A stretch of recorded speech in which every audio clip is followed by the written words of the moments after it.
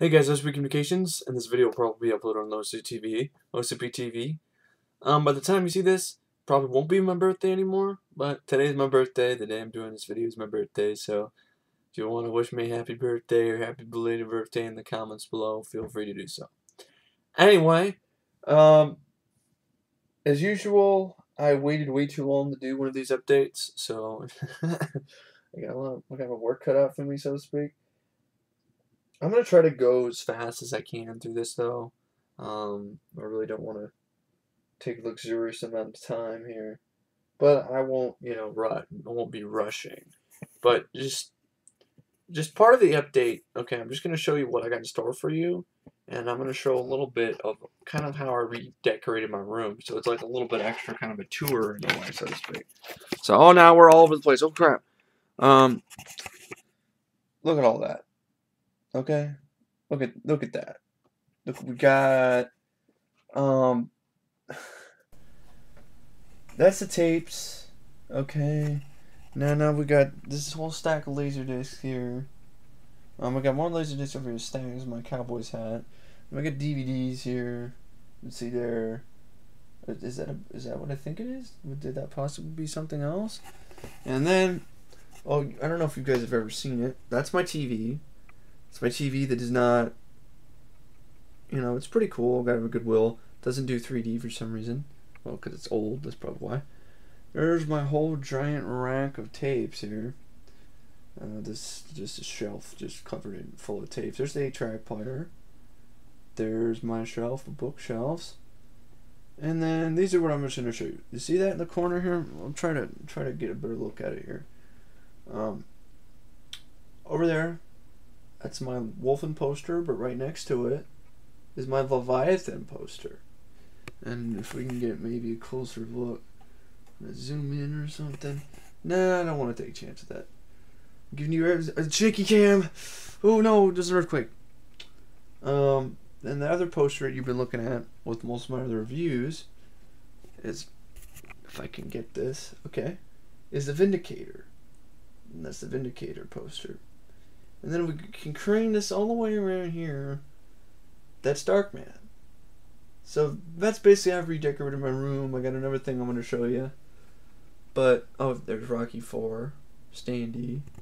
There's a little blank wall I can put some posters on. So, and there's my computer. And there's me. Hi. Hey. And then there's, this, this is basically, there's, there's a can of mellow yellow. Okay, alright.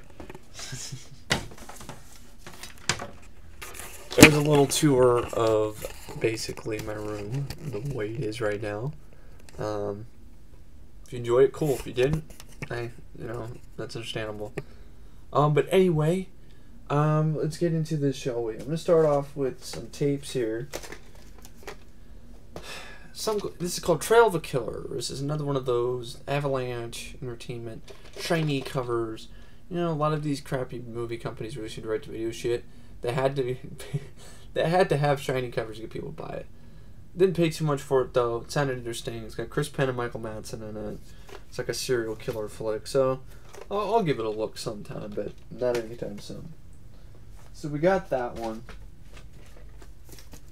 Got Moontrap. This is not the original release. This is a rental case. Um, just wanted the copy of it again because my copy's in Oklahoma. This is a great underrated movie. This movie kicks the shit out of Lockout. Um, you want to see a climax like Lockout done the right way? Watch Moontrap. And I just want to see a DVD of this in good quality. The tape on this, I mean, the VHS tape, it's pretty. This tape itself, it's watchable, but it's pretty crappy. But I mean, you know, it doesn't matter because it's such a great movie. But it's a good thing I still have my. Uh, the rip that I got off online of Moontrap off of VHS is better quality than this. But why can't we get like a widescreen, you know, crystal clear quality of Moontrap? Now that I have a Blu-ray player, I wouldn't even care if it's even on Blu-ray. Code Red did Red Scorpion. Let's do let's do or was it Code Red whoever did Red Scorpion, I don't remember what company did it. It's Code Red or somebody else, but whoever did it, it's coming out soon. And do Red do Moontrap next, man. It's a crying shame this is not on DVD and is, is, is we're relegated to watching this underrated awesome flick. that you know is basically virus on the moon, but kicks the ever loving crap out of virus. You know, the only movie that Chekhov, you know, Walter Koenig's ever starred in, and it's got nothing. It's, it's, it's this tape, you know, it works okay, but I want to see a high def version of this film.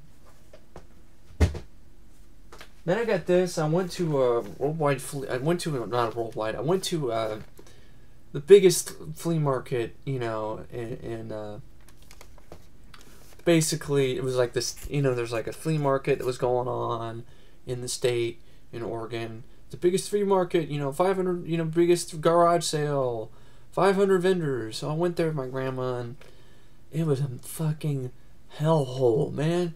You had like so many people there. It was crazy.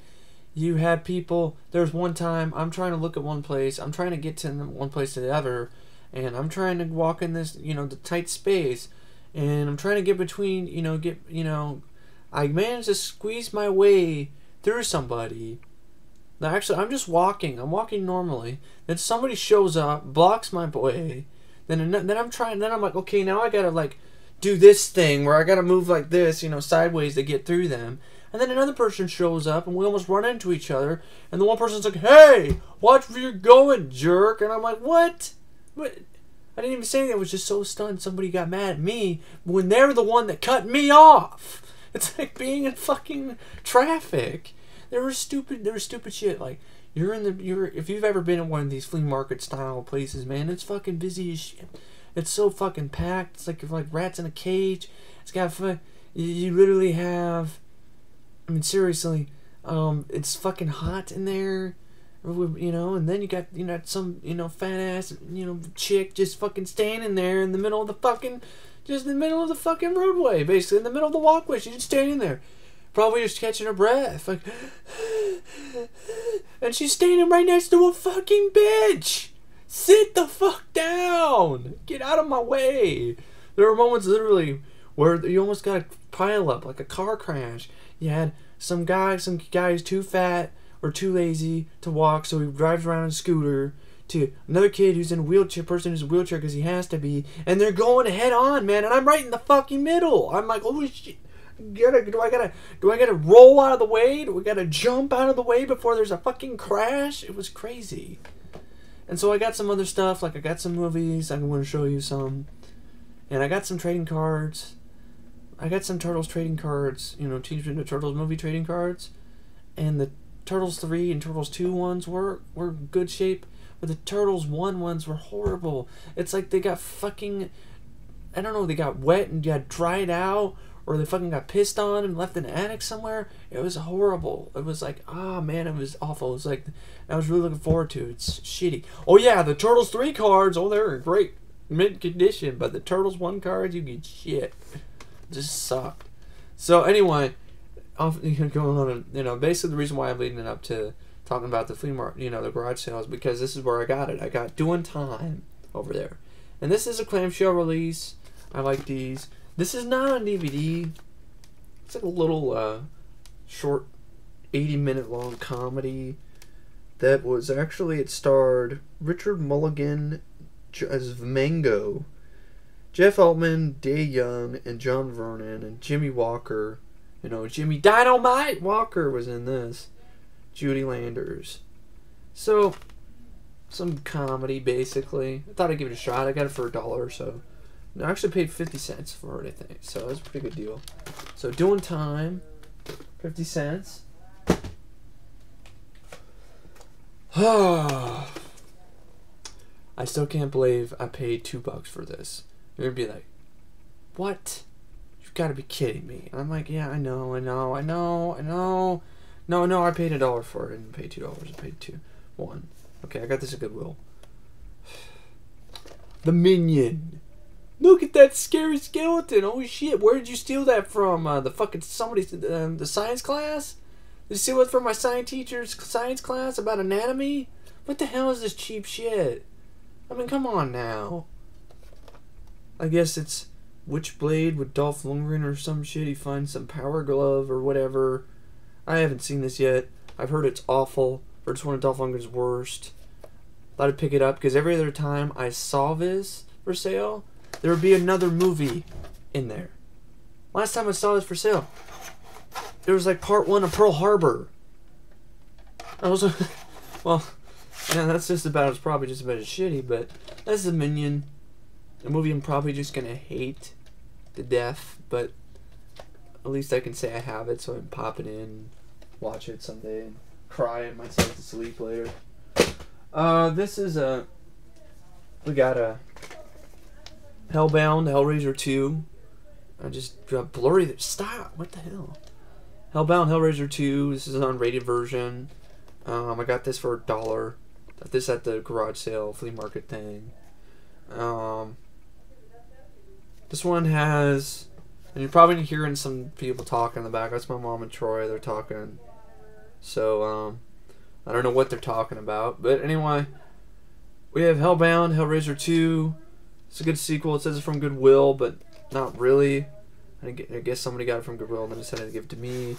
But anyway, it works pretty well. It's got some good, interesting trailers. It's got the trailer, like a teaser, little 30 second trailer for The Punisher before it, and Warlock. It was like funny. And they all said coming soon to a theater near you. It's like, yeah, my ass. None of these movies are coming out in theaters. nice one, New World. So, but this is Hellbound Hellraiser 2. Go well with my Hellraiser VHS 2. I paid way too fucking much for this. I understand. I paid, as you can see, two ninety nine, three dollars for Ninja Turtles: The Next Mutation, VHS. Um, it was so meh that I really didn't think I needed to review it. It wasn't. It wasn't total shit though. I didn't find myself hating Venus. Um, I found myself liking parts of it. I liked some of you know the action sequences. The choreography was decent. Um, the turtles didn't look. They didn't. They look better than they did in Turtles Three. Okay, they definitely did look better in Turtles Three, in my opinion. The villain, the Dragon Lord, was kind of lame. His uh, sidekick was like the one that looked like one of the Muppets from the SNL first season of SNL in the Land of Gorch. I could have sworn it's the same fucking Muppet. Then you had really the biggest problem with this show and with this pilot. This is basically put together 75 minutes of the three part pilot, you know, Ninja Turtles and Next Mutation. Yeah, Michael Bay, this is called Ninja Turtles before you're Ninja Turtles, so don't act like you're doing something new and different. I don't know why the turtles all had to have fucked up masks and different versions of it. Raph's shredded up mask was kind of cool. Donnie, what the hell is that? What the fuck is he doing? He looks like a retard. He's supposed to be the smartest guy, and he's wearing a full do rag on his head. It just looks fucking dumb, man. It looks dumb. And Leo suffers from the same problem as well. I don't know why all of a sudden the producers of the show decided we need to make the turtles look like they fucking, I don't know, took a bunch of steroids. They're like ripped. It's just not really. It takes a little bit getting used to. I admit with Matt, I could see myself watching more episodes of this. It's not really like the best thing ever, but it's not the worst thing ever either. I mean, some of the one-liners, some of the one-liners were fun, but then again, there some of them were bad. I don't like the stupid sound effects whenever they're fighting, like doink doink doink. This is stupid. So what is, it's not the Three Stooges, right? But yes, once again, the turtles do still suffer from the buck tooth problem in this, but I thought it was ten times better than Turtles three. Like I, I, found actually found this a lot more entertaining than Turtles three, which is kind of sad. And Raph riding on a motorcycle was kind of cool. But anyway, Next Mutation is watchable at best. Maybe once. I don't think I'll watch it again anytime soon. This is checking the mail. I don't know if I already talked about it or not. As you can hear, doesn't sound like it works, right? Got it because Brian Dennehy was in it. Uh, Brian Dennehy. And then, as you can see, I was so fucking worried about this. Um, is it supposed to be like that? This, remember correct? No. So I got broken tape from Goodwill, but it works. It, it works. I don't know how, but it works. it made the weird. It made the most terrif- it made one of the most weird sounds and I was rewinding it. I felt like the VCR was gonna explode. It was like ringing. it was like, it was like, This is the check is in the mail. Um, I wanted to get another copy of this awesome movie, Screamers. Great film, underrated film. Unlike some dumbass's web fucking list on that Matt showed me on Skype last night. Fucking idiot. He's always Screamers is horrible. Stupid lead. Was P. Weller like the ninth choice in the sci-fi lead list? No, he's probably like maybe the third or fourth, or maybe even the second choice. In all honesty, because he's been in a lot of good sci-fi films.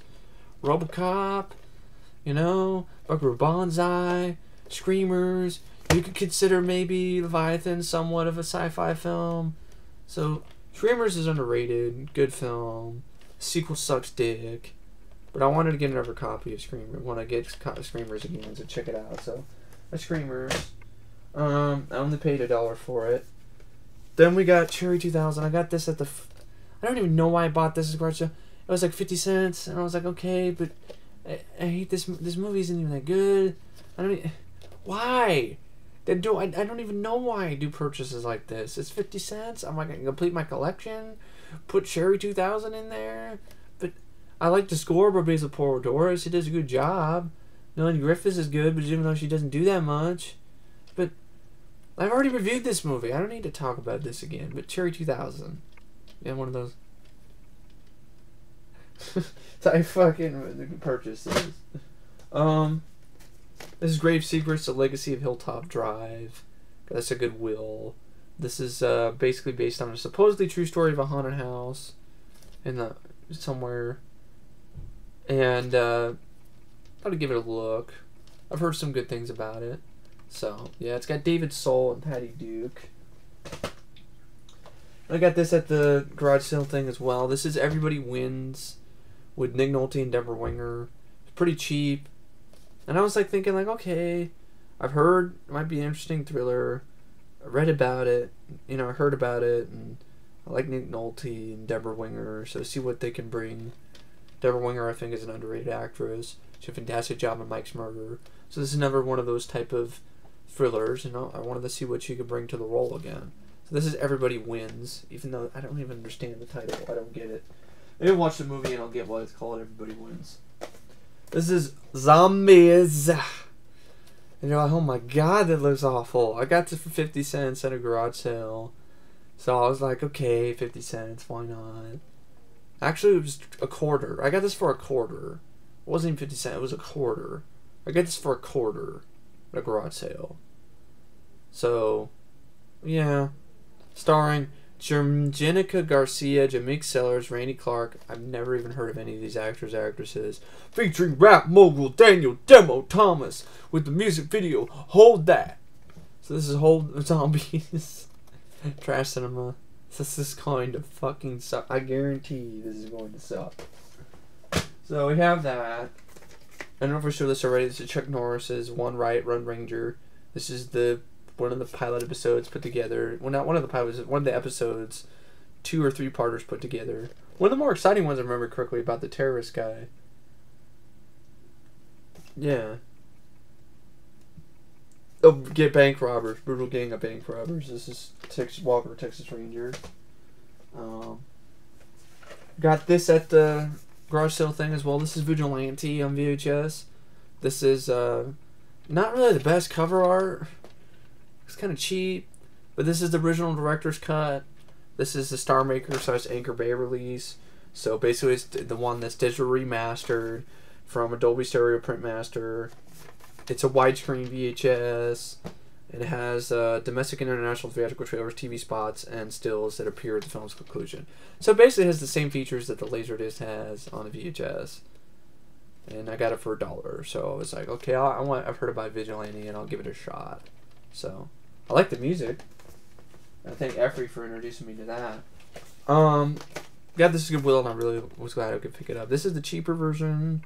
This is not the same re-release. The same. This isn't the collector's edition, but it still works. This Trilogy of Terror. The only movie, horror film, or movie I can think of that I really, actually, genuinely, really like Karen Black in, because I don't like her in very many other films. Don't like her in Invaders from Mars. I hate, fucking hate her in Children of Night. Children of the Night. That she's good in this. She plays two roles and does a really good job. Of course, the best thing about everyone remembers is that damn Zuni fetish doll, which is so ridiculous. But Dan Curtis does such a great job with the directing that it makes it genuinely creepy. Trilogy of Terror is a classic TV horror film, so yeah, it's it's definitely. I don't think it's terrifying, but it's good. This is Combat Academy. I don't know if I have this in Oklahoma or not. This is a crappy Star Maker release, yes, but it works. I've to see this because Keith Gordon is in it. Yeah, I'm starring in Combat Academy. You can give it a look. No, no, no. Not you know, basically it's like a kind of police academy type thing, but with a you know kind of combat military academy. It's like a military academy meets police academy. And you got you got Keith Gordon, you got Jamie Farr, you got Sherman Hemsley, you got Bernie Kopell, Mitchell Mall, and John Ratzenberger. What a freaking cast. This Combat Academy. It looked like a lot of fun in the trailers that I've seen, so I'll give it a look sometime, Combat Academy. Definitely see they're trying to go for the Police Academy thing because they call it with the same font, you know, it's Police Academy, the comment. This is Don't Look Back with Eric Stoltz. Um, at that at the garage sale too. I wanted to give it a look because sounded like an interesting plot. Looks like a I heard it was a good role by um, Eric Stoltz. What he basically plays is a bum, a guy who basically you know. Just Jesse Parrish, he just took a wrong turn. He's a down and out uh, musician with a bad, drug habit, and he stumbled on a drug deal gone awry and found himself a suitcase full of money, which he aims to keep. So basically, the whole thing is like, what's he gonna? He's just basically a bum who his life didn't turn out the way he'd hoped it would, and he gets a second chance and a new opportunity. And uh, you know, when you're worth more dead than alive, run hard, fast, run hard, run fast, but don't look back. And I kind of like, you know, it kind of sounded interesting, like a realistic sort of drama, you know, mixed with maybe some action. But I wanted to give it a shot because I liked Eric Eric Stoltz. I think he's an underrated actor, so wanted to see what else he could he could bring to a role like this. So we got Don't Look Back. Um, got this at Goodwill for a dollar. Hollow Man. Um, I wanted to check it out again. remember really liking this film. remember being the true last truly kick-ass Paul Verhoeven film. I remember Kevin Bacon being downright sadistic and creepy in this. So, yeah, I wanted to give it another look. It, some, it had some really good effects in it too, if I remember correctly. So this is Hollow Man. Um, this is one of the few tapes that I got from this one seller the garage sale thing that was offering me eight tapes for one dollar. Eight, you know, eight tapes for a dollar. So I really could not turn down that offer. And I found some tapes that I really probably never watch otherwise. Like this, Men of Respect. I probably would never even bought anyway. But it's like a, a, a kind of crime drama, you know, mafia type thing with John Turturro and Dennis Farina and Peter Boyle and Stanley Tucci and Rod Steiger, of course. And you know, okay, I'll give it a look. See John Turturro try to play, you know, more serious role. I thought he's always been kind of an underrated actor anyway. Ever since I saw him in Barton Fink, and yeah, this is Men of Respect. Um, and we have I got this at a thrift store um, for yeah, about two bucks, a little bit more than I, you know maybe should have. But this is after the shock, which is about the earthquake of you know '89, the San Francisco earthquake in '89. Um, it's got Yaphet Kotto, Rue McClanahan, Jack Scalia, and Scott Valentine, and it's directed by Gary Sherman, who directed Poltergeist Three. So I wanted to see what he could bring, and I saw doc. I saw trailer for this on a screening copy, which actually was a little mixed with kind of behind the scenes of this. So I was sort of interested in this. So it's based on a true story. I think it was a made-for-TV film. So this is after the shock. Not the best cover art, really. Not really. But uh, then I got this for twenty five cents at a garage sale. This is Twisted with Christian Slater. Just have heard it's a pile of shit. It was a quarter, so you can't blame me for a quarter there. Um, there's another one part of the eight for a dollar. This is Treat Williams and Venomous. I guess it's another Killer Snake movie, but with Treat Williams. It's rated PG thirteen. It's got one of those stupid white tapes for some reason the Fox probably liked to do in the late nineties. I don't know what they were thinking. But you know, each your own. So basically, I'll, I give it a shot. You know, you know, for eight for a dollar, I'll give it a shot sometime. I like Treat Williams, although it might be power of shit, but you know, you'll definitely know if it is. So this is Venomous. I don't even know why I bought this. I don't even know what I was doing. This is I got this for a dollar too much, dollar too much probably. This is Final Fantasy Spirits Within. As you can see, the cover looks like I might have gotten some water damage or something. Even though the tape that I got was like unopened. But anyway, this is the movie that you know Matt did a good review on, produced by you know Columbia Pictures and Square Pictures, and the first ever movie is an ambitious project you know, based on a popular video game, but the movie isn't based on the video game at all. That's a bright idea. Square. Pictures. Stupid. So, anyway, Final Fantasy Spirits Within. Heard it was shit. I've heard the graphics are good. I don't, I don't really care. I just want to see if it's really as bad as everyone says it is. So, yeah, sometimes there are sometimes I spend a dollar to see if something's really bad. Like movies like this, like Godsend. I saw the trailer. The trailer looked like it might be an interesting film, an interesting idea. Um, it's got some good, you know, critic, you know, critic, critical acclaim. Now I know Matt hates it. I know a lot of people call it a piece of shit. I haven't seen this film, so I thought it looked interesting. So woe is me, you know. I might see it and then then I'll know why it sucks so much. So just give me a chance to see it to see if it really does suck as much as everyone says it does. But the trailer actually genuinely interests me. It sounded interesting. The whole plot of Greg Kinnear and his son basically dying. You know, you know, you know, you know when he, you know, dying before he can reach his prime, and and you know him and his wife are desperate to anything to do anything to resurrect their kid, and then Robert De Niro, some genetic research guy, and then he offers to clone their son. So, sounded interesting to me. And Greg Kinnear looked like he was bringing a good performance, so I'll, I'll give it a look sometime. Godsend. But, you know, hell, I might end up liking it. You never know. Um, this is Escape Velocity. what is this gay ass CGI bullshit? This shit. It looks horrible. What the fuck? Uh, this is Maverick Entertainment. no, we're getting into there. Stars Patrick stars Patrick Bergin, Wendy Crewson, Michelle Beaudoin, and Peter Outerbridge. I bet this is another sci-fi movie. Set in the future. So, but I saw the trailer and actually looked like it might be somewhat interesting.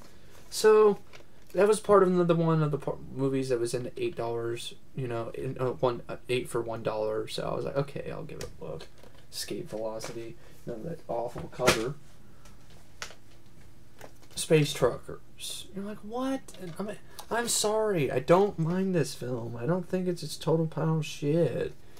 You know, Matt feels, uh, you know, he thinks Shaft is like a B movie. You know, I, that's how I feel about Space Truckers. I've always enjoyed this movie.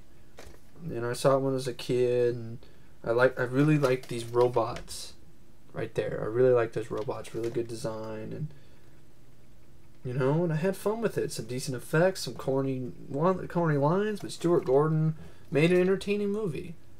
It's a silly idea, but I, I enjoyed Space Truckers. Haven't seen it in a while, and I wanted to check it out again. In some ways, sort of reminded me of Starship Troopers but not really that much.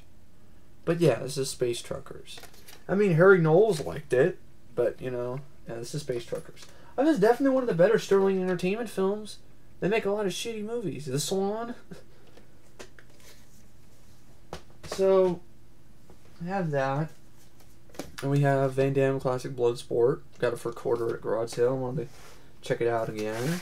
So I was like, can't turn down Bloodsport for a quarter. I mean, come on now. That's Bloodsport. Uh, we have this is another one of those, you know, movies, you know, eight for one dollar. Brainiac, Drainiac.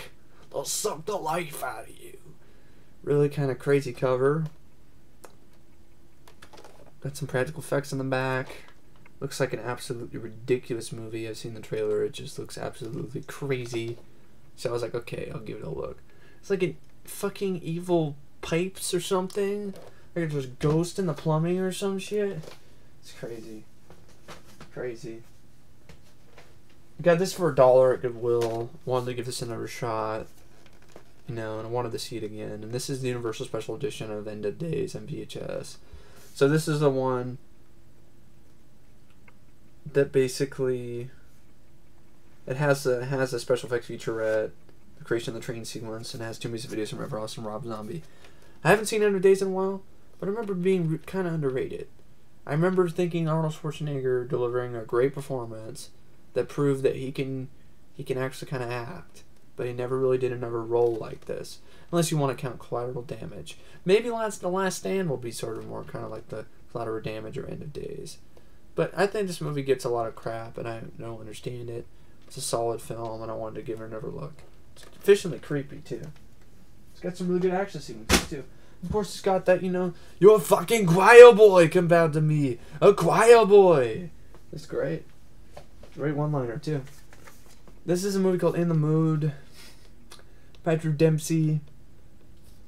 Um, it was a, it's based on a true story about this guy named Sonny Wisecarver. Was a teenage boy has the most astounding knack with women. Older women, beautiful women, married women. So basically, he's a womanizer. He's more of a man at 15 than most men are at 35. So it's directed by Phil and Ro- Ro- Robertson, Phil Alden Robinson, and it was another one I got for a quarter.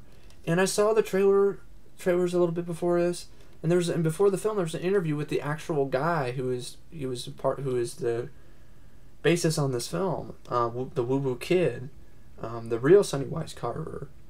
It was really interesting to see this guy talk about it and. From the clips that were showing, it looked like a good period piece and looked like it might be some fun. So, in the mood. It's like a teenage, finally a teenage comedy for adults as the tagline. But I like Patrick Dempsey. I liked him when he was doing his movies in the 80s where he was kind of the nerdy guy, you know? This is Deadly Sunday. I got this for 50 cents at the garage sale. Probably piece of shit, but Lightning video release and not on DVD probably. I have to give chances on those. It stars nobody. I, I Dennis Ely is the only guy that sort of sort of sounds familiar, but nothing else. So yeah, low budget pile of schlock, schlock probably, or shit. Either way. Deadly Sunday. Um, this is Rain of Fire. I wanted to give this another shot. Last time I saw it or tried to see it, it was with my dad, and he had his parents staying over, and his parents were upstairs. My dad had a lot, like an apartment, and, and you know downstairs and upstairs, and his parents were staying upstairs. And they're making all this racket and wouldn't you know turn their TV up really loud because they couldn't fucking hear. And we're trying to watch Rain of Fire, and we couldn't because they had their fucking sound blaring on their TV. And my dad would turn around, but shut the hell up! Just turn the fucking TV down. What? Turn it down. What? Turn it down. That's all I remember about Rain of Fire is what? Turn it down. This is Rain of Fire. That's why I need to give it another look. I'm Christian Bale, and I don't think he sounds like you know all gargly in, in that, and then doesn't sound like a gargoyle in that one. This is Deadly Friend. I want to give another look. Sounded. I have a copy of this in Oklahoma. But there's another one that's eight for a dollar. You know, one eight for a dollar deal. You know, part of that deal. Have a Deadly Friend to look. So, yeah, Deadly Friend. So, got some good performances in it. Some crazy sequences, basketball to the head. I was really, really kind of excited about this. Well, I think I have it in Oklahoma, but I'm never sure. This is Vietnam, Texas. You know, this is a movie directed by Robert Ginty. Stars Robert Ginty and Haing S. Ngor. And it sounded like a good idea for a film. Saw the trailer, looked interesting. Basically, Robert Ginty plays a priest who wasn't always a priest. He was a man of war. You know, he was in Vietnam. He thought he left his past behind. Now he wants it back. So in a way, you can sort of sort of look at it as if the exterminator decided to uh, clean up his ways and become a priest. and then you know his past came back to haunt him. Vietnam, Texas. So, I haven't given a look yet, but I've heard some good things about this film too. This is Prom Night, and with Jamie Lee Curtis. Um, this is the Virgin Vision release, so it's got some fun trailers. It's a trailer for Kidnap before it. Kidnap looks like a good movie, so I want to see if I can find it. Somewhere. This is Prom Night. It's one of a lot more sturdy, better cover, better looking release than you know the crappy other cheap ass releases that the film has gotten on VHS, and there were a numerous amount of those. A dollar, yes, the Psycho remake. Like, why? And God's because I wanted to give it another look. See if this film truly does live up to its reputation. For a dollar, why not? See if the film really does live up to the reputation. See if the film actually is really truly as bad and awful as everyone says it is. Because I remember last time I saw this, I remember liking the supporting cast. I remember liking William H Macy. I thought he really did, did a good job. I like Julianne Moore. I like, I really like Viggo Mortensen, but I fucking hated, you know, Vince Vaughn and Anne Heche. So, and Vince Vaughn is just what kind of fucking casting is that? Whose bright idea was to cast the guy from Swingers as fucking as Norman Bates? It was stupid. But anyways, the Psycho, the remake. So, and it's just looking pristine quality because it's completely unopened when I bought it. So, yeah, I'll give that a look sometime. This is the first Puppet Master, which has a making of documentary about the making of Puppet Master after the end of the movie. So the first Puppet Master, okay, I got Puppet Master 3 without the cover in Oklahoma. I got Puppet Master 2 over there as well, but this is the only Puppet Master film that I have here. So if I start with the first one, I'm like I like that. I like the first one I find over here is the first one. That's good. I start with the first one and then I can go from there. So it doesn't matter what order I go now. You know, that's kind of nice. Start with the first film of the franchise. This movie called Nickel and Dime. This is a screen copy. But this is Nickel and Dime, which has uh, an unlikely the odd couple of C. Thomas Howell and Wallace Shawn. I know, really? Wow. And I've seen the trailer. It looks like it might be a fun kind of buddy movie, so I'll give it a look sometime. Nickel and Dime. And then we got. I've been wanting. To, I've been looking forward to seeing this film because I read about it. It sounded like it might be a good movie. John Savage, the role that. You know, I saw the trailer for this too, and it looked like it might be good. This is Hunting, and it's like an erotic sex sort of erotic thriller, but you know, John Savage plays a businessman who's basically lives for the thrill of the hunt. He just basically stalks women, you know, and hunts them down and kills them. So, and yeah, that's basically that's hunting. He's hunting, you know. And John Savage, I think, no, that's a different actor who played the vampire in Waxwork, if I remember correctly. I don't know who it was. This is searching for Bobby Fischer. I'm wanting to see this drama. It looked like it might be really good. I'm not a big fan of chess, but the trailer always looked like it had a good cast, and it looked like it might be a good, you know, fun, feel good movie. Uh, he had Joe Mantegna look like he was bringing his A game. Same thing for Ben Kingsley and Lawrence, young Laurence Fishburne. So, and Max Pomeranc, the kid.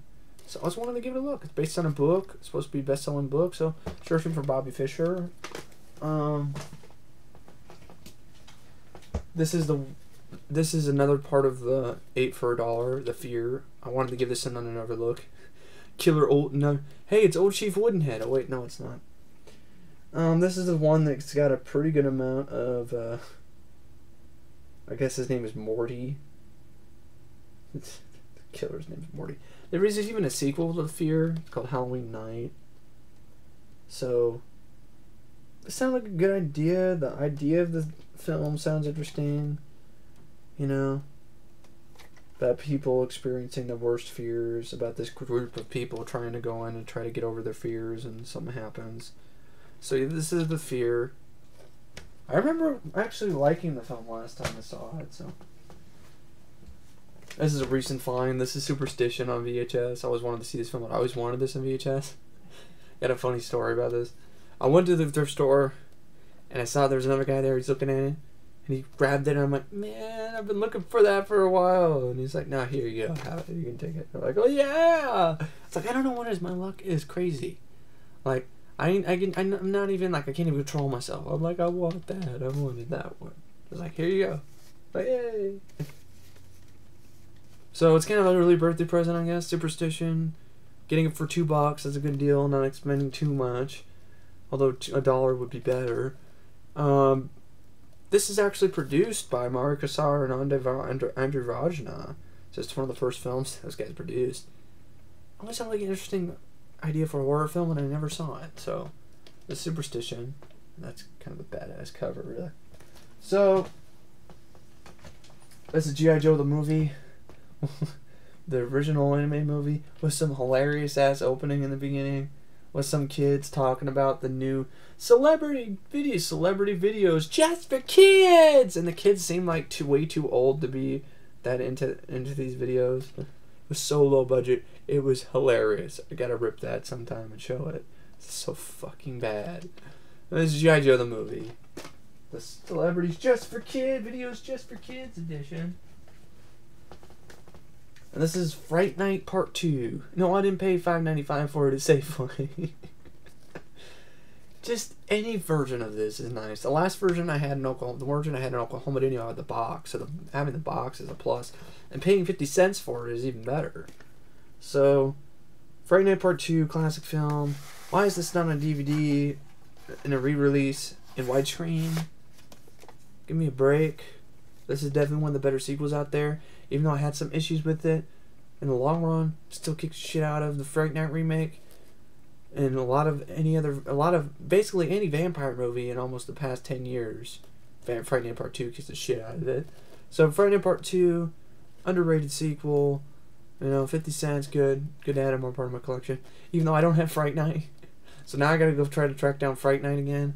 So this is Fright Night Part Two. Um, this is Sniper, looking brand new and fresh, because uh, it was just right out of the box, out of the packaging. Like, I already, I know I already have a copy of this in Oklahoma, but I'm not getting that back anytime soon. It was a dollar, and I had Sniper two, and I wanted to get Sniper, so, so, so Sniper. It's an underrated film with Tom Berenger and Billy Zane. I really like Sniper. It's a good action movie. This is Billy Jack, Tom Laughlin's infamous you know, movie where he kicks the shit out of people who are bullying the Native Americans. Thought I'd give it a shot. Still haven't opened the packaging yet, though. This is the last one that I got at the garage sale, which was part of the deal, which was eight for dollars for eight dollars for one. And this is black top with uh, Meat Loaf Aday. Meat Loaf Aday. Give me a break. Kristin Davis. So it's basically like, um, Meatloaf. I don't think he's playing the villain in this. It's like he's ordinary trucker. Maybe he's playing the bad guy, but it doesn't really say it. It's like Meatloaf is playing the opposite character he played in in Black Dog. It's like he's playing the good guy or something. I don't know, but it, it just seems like freaking Black Dog again, and I wanted to give it. It's even called Black Top. I wanted to give it another shot, and not really another shot. I wanted to give this a shot to see if it, it's any good. Plus, it was eight dollars. You know, eight movies for dollars. You can't go wrong with that. And then I got this at Goodwill recently. Italian Job. Got this again because I saw this in the theater, but when it came out, I really enjoyed it. This is one of Mark Wahlberg's better films. He's enjoyable in this just like he is in the big hit. Where's this Mark Wahlberg? Where I miss this Mark Wahlberg. You know this fun Mark Wahlberg. You know who's fun to watch, and had fun. Said this depressing. You know, Mark Wahlberg. You know, you know Mark Wahlberg, who seems like he's just ready to cry. So this is an Italian job. I thought I think it's an underrated remake. I think it's better than the original. I don't care. I know the original came for Michael Caine. I don't care for it. I think it's actually quite boring. This one is exciting. It's got breakneck pace. It even makes chases with Mini Coopers for fuck's sake exciting. And that's uh, that's tough. This even has a featurette about the mighty minis of an Italian job at the end. I remember having a good cast. I remember having a good time with this movie. You know? Donald Sutherland was a good villain. Jason Statham, young Jason Statham, Seth Green was good. I, I just wanted to check it out again. It just popped in my head and I saw it. I was like, cool, yeah, I'll, I'll, I'll go for the Italian job. That's an Italian job. And then the last VHS I have in this update is kind of sad. well, it really is sad. House of the Dead. It was a quarter, okay? I wanted to see how fucking truly shitty this was. I got this at a garage sale. It was it was 25 cents. I mean, what? Spend 25 cents on a gumball or spend 25 cents on a movie? I'd rather spend 25 cents on a movie any day over a gumball or some stupid little sticker. I mean, come on. And I know it's shit. I know it is. If it's shit, I'll, I'll tell it like it is. It gives me now I have a tape I can just beat the shit out of with that with a bat or something. You know? Yeah, House of the Dead. Fucking Uwe Boll, man. Ugh. So that's it for the VHS. Um, since I'm going for old video formats, I think I'll just go to the Laserdisc and then I'll get to the DVDs. And I got some few little special things to show you guys after that. I know I already showed a Laserdisc of RoboCop before, but this is the one that I wanted anyway. The other one, I didn't really. That's not the one I was looking for. This is RoboCop. This is a Criterion Collection edition. This is the one that has features on it. Not very many, but this is the one that has X rating, the unrated director's cut. Has an audio commentary Paul Verhoeven, Ed Neumeier, Jon Davison, and Paul Sammon, which is probably on the DVD. Film the storyboard comparison, extensive still frame supplement chronicling the production of RoboCop, but no documentaries or anything. But it's still like the best version of RoboCop, and I'm I'm gonna keep the other version just so it you know I can watch the version, you know, because you know because the other version's just one side. You know, this one has has I have to two discs to watch the movie. The other one's like one disc, which is just easier to deal with. So anyway, this is that's what the fold out looks like. Got Robo, you got some you know cool stuff here. So this is the Criterion edition of RoboCop on Laserdisc. Um, then we got. This is the uh, special collector's edition of Nightmare on Elm Street. Now I don't know if I showed these already. I don't think I did. I think I only showed Matt on a personal little update. Uh, Rambo Ralph. Um, and if I did, so what? Don't care. I'm showing it again because I showed Freddy's Dead, and well, this is what the so this is what the cover, you know, this is what the this is what it looks like. The fuck insert is that the name for it? Um. So yeah, this one has features on it. You know, this one has digital widescreen transfer. You know, trailers for all Elm Street films, commentaries, thirty minutes of lead scenes. So this is on Elm Street. The special collector's edition, the red and green version is just so so really cool, man. Damn it, quit it! Stop being so blurry. What the hell? There we go. Anyways, you know, Nightmare on Elm Street, the ultimate version on Laserdisc, out there. Anyway, um, and I think I already showed it before on an update. And if I did, sue me. I don't really care. Just deal with it.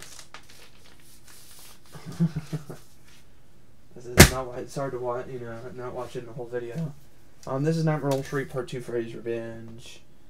This is the Elite Advisor Letterbox Edition. I really that's some badass cover art, really, some really good cover art. Um, there were only Elite only released three Nightmare on Elm Street films on on Laserdisc. The first one and the second one and the third film. This doesn't have any features, it just has the trailer and a widescreen format release and this awesome cover art. I mean, that's just awesome. It's really cool. It's a work of art in itself. So,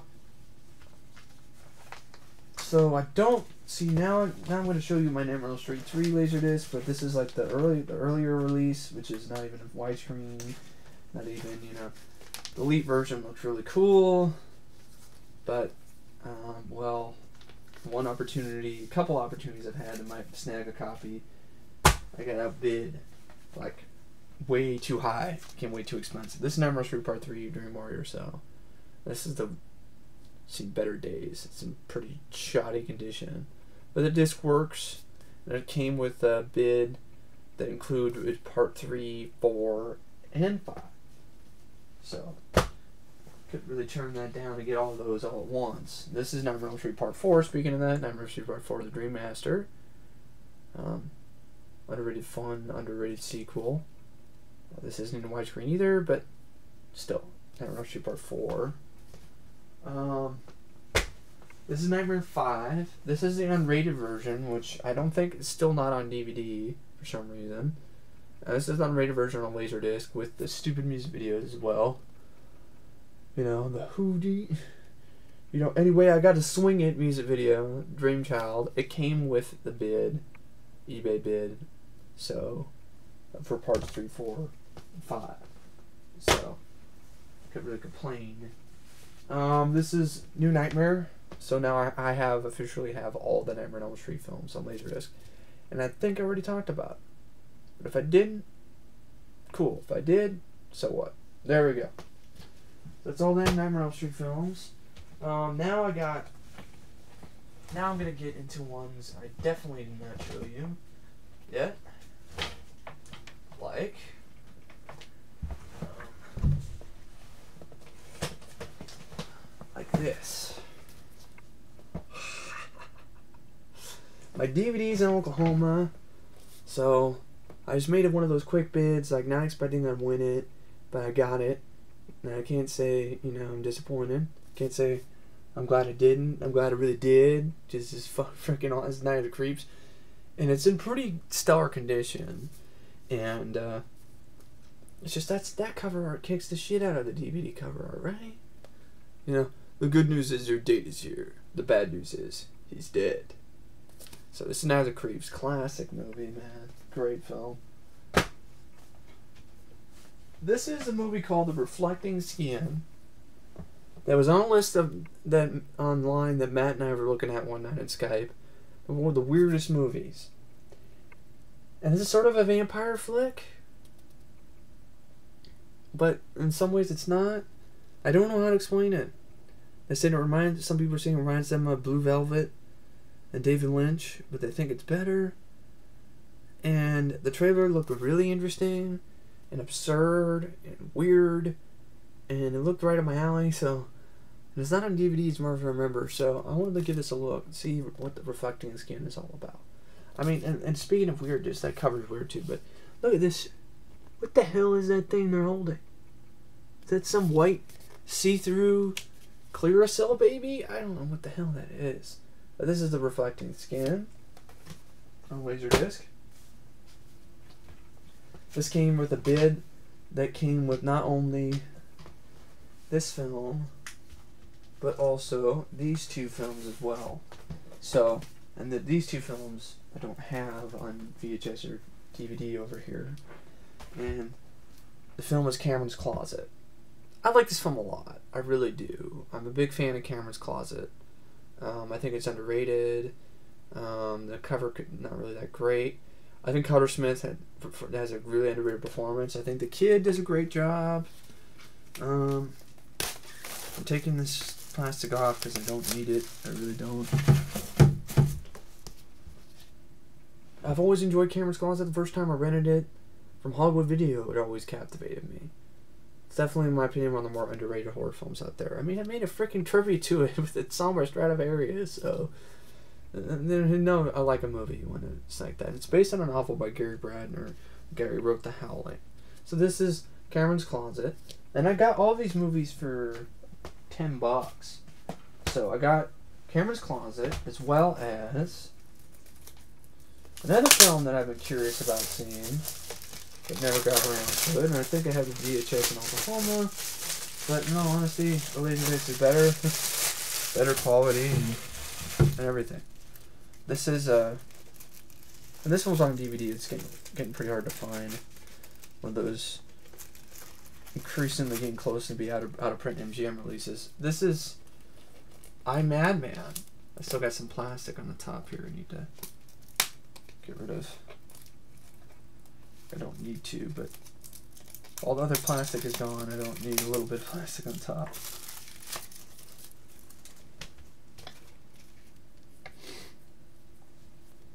This is I Madman. And this is directed by Tibor Takacs. Ty, Ty, I don't know. I don't think that's how you pronounce it. The guy who directed The Gate. It's got Clayton Rohner in it. And I like Clayton, Clayton Rohner, you know, from the Destroyer from from Destroyer. And then I've always liked Clayton Rohner, so I've always liked him. He's really he's good. He was even good in I think it was in Nice of Sense Evil. I think.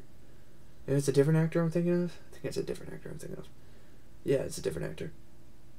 So it's got Jenny Wright in it. It looked like a good idea. There was this book, this girl reading, and the killer comes to life. So, yeah, I'm Madman a horror film that not very many people really talk about that much. Same thing with Cameron's Closet. And this is the remastered version of Chud. Um, I'm taking the plastic off here. Image Entertainment slash Starmaker RG Regal Home Video release, but this is still Chud on Laserdisc, and I like Chud. Wanted to give it another look. This is Chud on Laserdisc. Cannibalistic, humanoid, underground dwellers. This is remastered. Um, it's still not widescreen, this Laserdisc, but it's digitally remastered though. This is the this is the last version of the film that was released. Is this digitally remastered version of Chud by Image Entertainment? So yeah, so this is Chud. I believe this is the digitally remastered version anyway even though all they say is 1984, I seriously doubt this is from 1984. This laser disc. no, it's not. This is the remaster version of Chud. So, from Image Entertainment. So this is the laser disc for Chud. Have fun with it. It's a good film. Good one. Good performances. Dennis Stern's fun. So I got all three of those: Chud, Cameron's Closet, and I Madman for ten bucks here, I think this is one of the few old school horror films, really old school horror films that I that I can really that I really enjoy. This is The Haunting. Scary fucking movie, still scary to this day. It's about the stuff you don't see, which scares you more than anything in this film. And uh, this is basically the DVD that was released that is getting pretty hard to find, but this is on Laserdisc, so it's in widescreen. It's in letterbox format. It's got a trailer on it, so it doesn't have the commentary that the DVD does, but it's still The Haunting. It's a classic horror film. Robert Wise directed it. The same guy. One of his most one of the films he's most famous for is this film, The Haunting. Hard to believe the same guy directed Star Trek: The Motion Picture directed a movie like this, right? So you have The Haunting, and then you have this. Now, I got this and I only made a bid because I didn't think I was gonna win it. Now, this this this is a laser disc of Maniac. Yes, Maniac, that Maniac with that pitch face love of a man. Joe Spinell. This is director's cut by Elite Entertainment, the one with the widescreen format, with trailers and television spots and foreign trailers and promotional footage for Maniac 2, an deleted scene. So basically, I got this, and it's actually autographed by Joe Spinell. That's actually autographed by William Lustig, not Joe Spinell. William Lustig, director of Maniac and other films like. Directed. That's William Malone who directed fucking Creature. So William Lustig has directed other movies that I just honestly can't think of for the uh, time being, but he's most famous, pretty much, probably most famous for this film, Maniac. It's autographed by William Lustig. Now I was gonna say to Mike, it says to Laser World, my favorite store, William Lustig. And you would not believe how much I got this for. I made a bid and the opening bid was like I think it was like five ninety nine or something.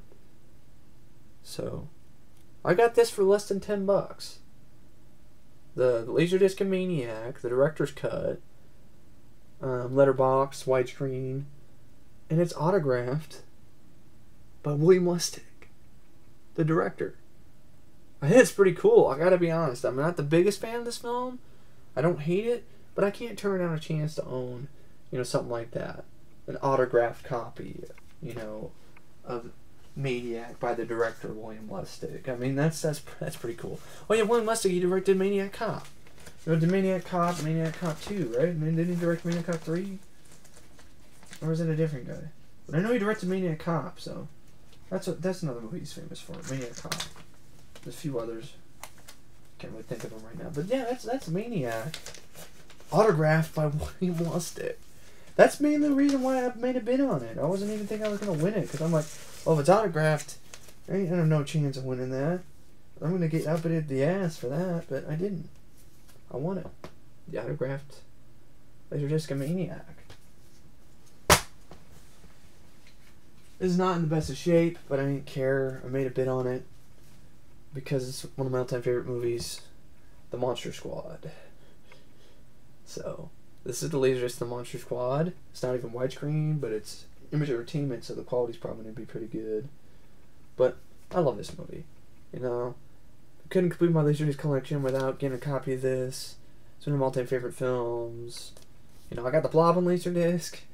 You know, might as well have the Monster Squad on Laserdisc as well. Um, so that's the Monster Squad. Um, this is Friday the Thirteenth on Laserdisc. Um, widescreen. It's not even the widescreen. They didn't release any Friday the Thirteenth films on widescreen, if I remember correctly. Not even Jason Goes to Hell. So all the Friday the Thirteenth films on Laserdisc are kind of not even not even really honestly that great quality. But know, it, it's nice to have an opportunity to own, you know, the franchise on Laserdisc for you know just collector's purposes. And I decided to start with the first film because it was the first, you know, because I saw it, this guy was selling it for pretty cheap, and I made a bid on it and I won.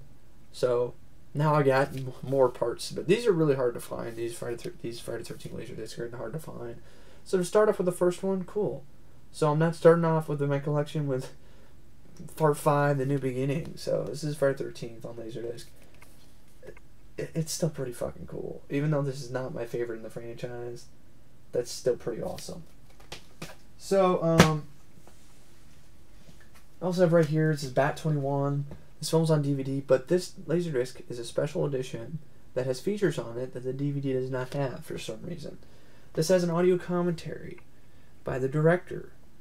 Um, the director of the film, who's Peter Markle. So has an audio commentator by Peter Markle. And it has a theatrical trailer at the end of the, of the and it's also all in one disc. So it's like a DVD.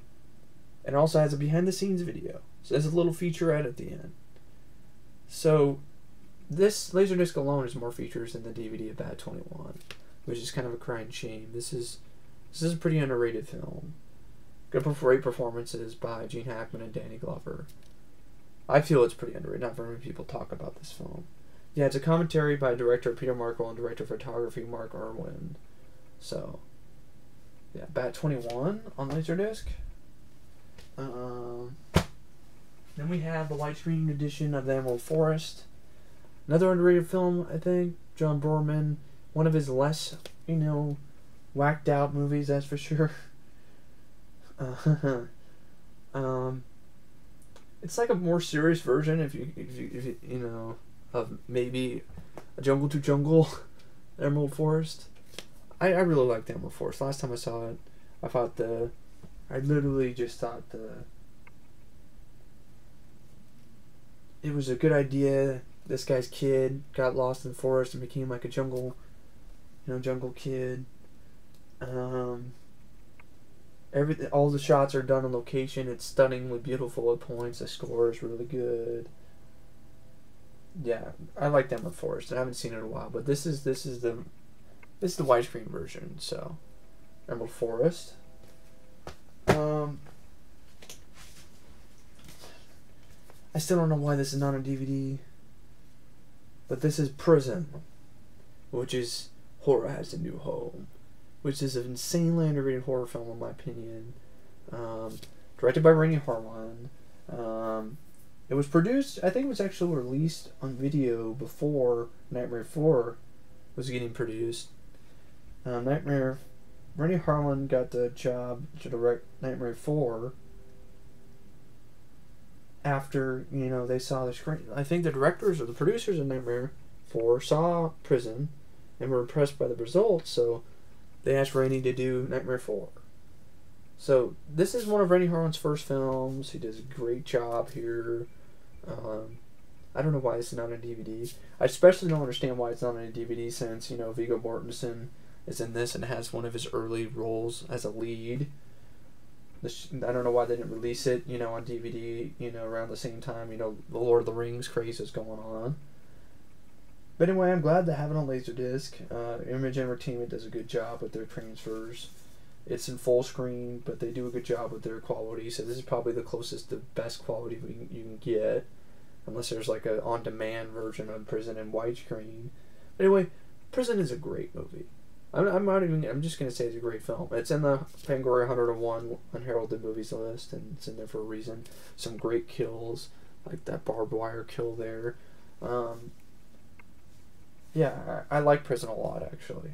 So, yeah, Prison. Um, that's how you do a fucking prison film.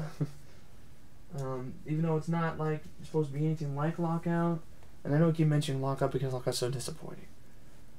But that's how you do a prison movie. This is Tales from the Hood. yeah, look at that reflectiveness. Chill. Or be chilled. I always like this reflectiveness. And this is actually has a commentary on it by Rusty Cundieff. Um, I like this film a lot. This is an underrated uh, film, in my opinion. It catches some Tales from the Crypt in a way, but it's a very solid horror anthology. Um, yes, it looks like it might be just gimmicky. It might be just some, you know, urban version of Tales from the Crypt. And in a way, it is that, but it's got some great effects. It's got some really good storylines. It's got some great, good acting. It's got a really underrated score by Christopher Young. Just a solid film that, you know, it's getting harder to find on DVD anyway. So, but yeah, Tales from the Hood. Who doesn't love that cover? It's just cool right? It's just chill. It's just this, yeah, it's just chilled and awesomeness. So that's Tales from the Hood. Um, this is Deep Rising. I love this movie. This is great, great movie. This is still, in my opinion, Stephen Sommers' best film. Even though I like The Mummy, I don't mind The Mummy Returns. Deep Rising is better than both of them. They're right here. It's a slick, entertaining action film. This is also on Fangoria's 101 Unheralded Horror Films list. Treat Williams. This, in my opinion, is my favorite Treat Williams film. He's some fun leading this, and it's kind of sad that he didn't get that much.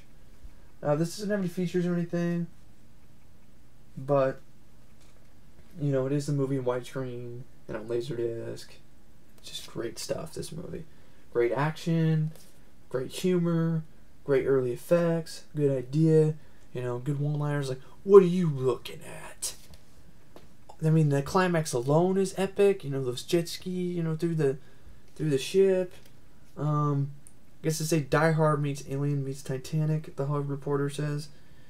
Yeah, I don't I don't see the Alien reference. I don't get the Titanic reference, but okay.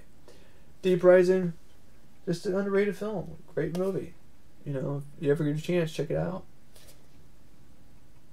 And I'm surprised that my music video I did for it is getting that's one of my, one of my most watched videos is that video. So get a lot of and then and then the trailer for Deep Rising gets everybody talking about it.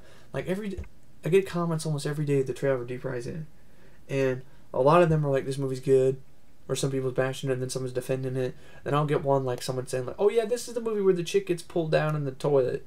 Man, I was scared for toilets for weeks and I never for months and I didn't know what movie it was. so that's Deep Rising. Yeah, chick gets pulled down and pulls her pants down and gets uh, sucked into a toilet in this movie. But Famke Janssen is actually really good in this too. Just all around a great, fun movie, Deep Rising. So I was glad to get that. Um, this this Lasers of Popcorn, Seen Better Days. Um, but it's still popcorn. I love that tagline. I like the cover art. Buy a bag, go home in a box. So, this is a fun movie. This is like a homage to the horror films of the 50s and also blending it in with, you know, modern day stuff like Nightmare on Elm Street. Popcorn is a lot of fun. And this is also, I think, on the Fangoria list as well. If it's not, it should be. Fun movie. It's on DVD, so, but I haven't been able to find that, so. Pick up a Laserdisc. We got the Night Flyer, widescreen. Got this for pretty cheap. I guess this one's getting kind of hard to find. The DVD's not easy to find either, if I remember correctly. Right now. Um, but I had fun with this movie. Miguel Ferrer has a good does a good job. The make effects are good. Yes, the ending's downbeat, but so was a short story, so I'm not surprised. But I thought Miguel Ferrer's performance alone, even though he's kind of a dick in this film, but he was sort of a likable dick. But good movie, good solid flick. You know, gets some flack so that I don't understand, but that's Night Flyer. I think Stephen King has admitted that's one of the few films that are close to his vision that he likes of his stories. Um, here's this awesomeness here. We got 10th anniversary edition of Reanimator. That cover art is just badass. It really is. So I don't know if I showed it to you already. I don't really care if I did. I'm showing it to you again. Death is just the beginning. And uh, you basically have you have this. Of course, you have you open up the insert. You get this awesomeness. Herbert West there with his reanimation serum. It's basically it's got ram- remastered widescreen version. It's got audio two audio commentary tracks by Stuart Gordon, Brian Yuzna, and the, and the original cast. I think the commentary that got copied onto the DVD. And it's got 20 minutes of additional R-rated footage including the never before seen dream sequence, and it's got the Chadwick trailer intelligence spots. So basically, Reanimator, you know, it's doesn't have all the features that the special edition DVD does, but it's still the best version of the film to own on Laserdisc, and, and I really do like Reanimator. The first time I saw it, I got the DVD, you know, the two disc that I still have in Oklahoma that I got a ridiculously good deal for at a pawn shop and I got it, and I brought it with me when we were going to, when I was going on the road with my dad, and I saw it, and I really liked it, and I really, I really do enjoy Reanimator. So it's it's a really good blend of comedy and horror. So, yeah, Stuart Gordon knocked it out of the park with Reanimator, and it's just that cover. It's just, just awesome. It's really fucking awesome, really. So, you have that. And then we have uh, this is the Texas Chainsaw Massacre. This is the Elite Edition. This Texas Chainsaw Massacre Elite High Def Widescreen Transfer. This is the best version of Texas Chainsaw Massacre on a laser disc. Um, this this this has some weight to it. This set. Um, I took some care with this one. It's got the new widescreen transfer, supervised by director Tobe Hooper. Uh, new stereo surround remix, supervised by Tobe Hooper. Um, it's got an audio commentary with Tobe Hooper on it. It's got you know, it's got an audio commentary Tobe Hooper, the director of photography Daniel Pearl, and Gunnar Hansen. Which I think a commentary might be on another DVD. Um, it's approximately 30 minutes of lead scenes and outtakes, blooper, blooper reel, original theatrical trailers and television spots, trailers for other films in the Chainsaw series, still photos, posters, and collectibles. I like some of the quotes on the back of this laserdisc.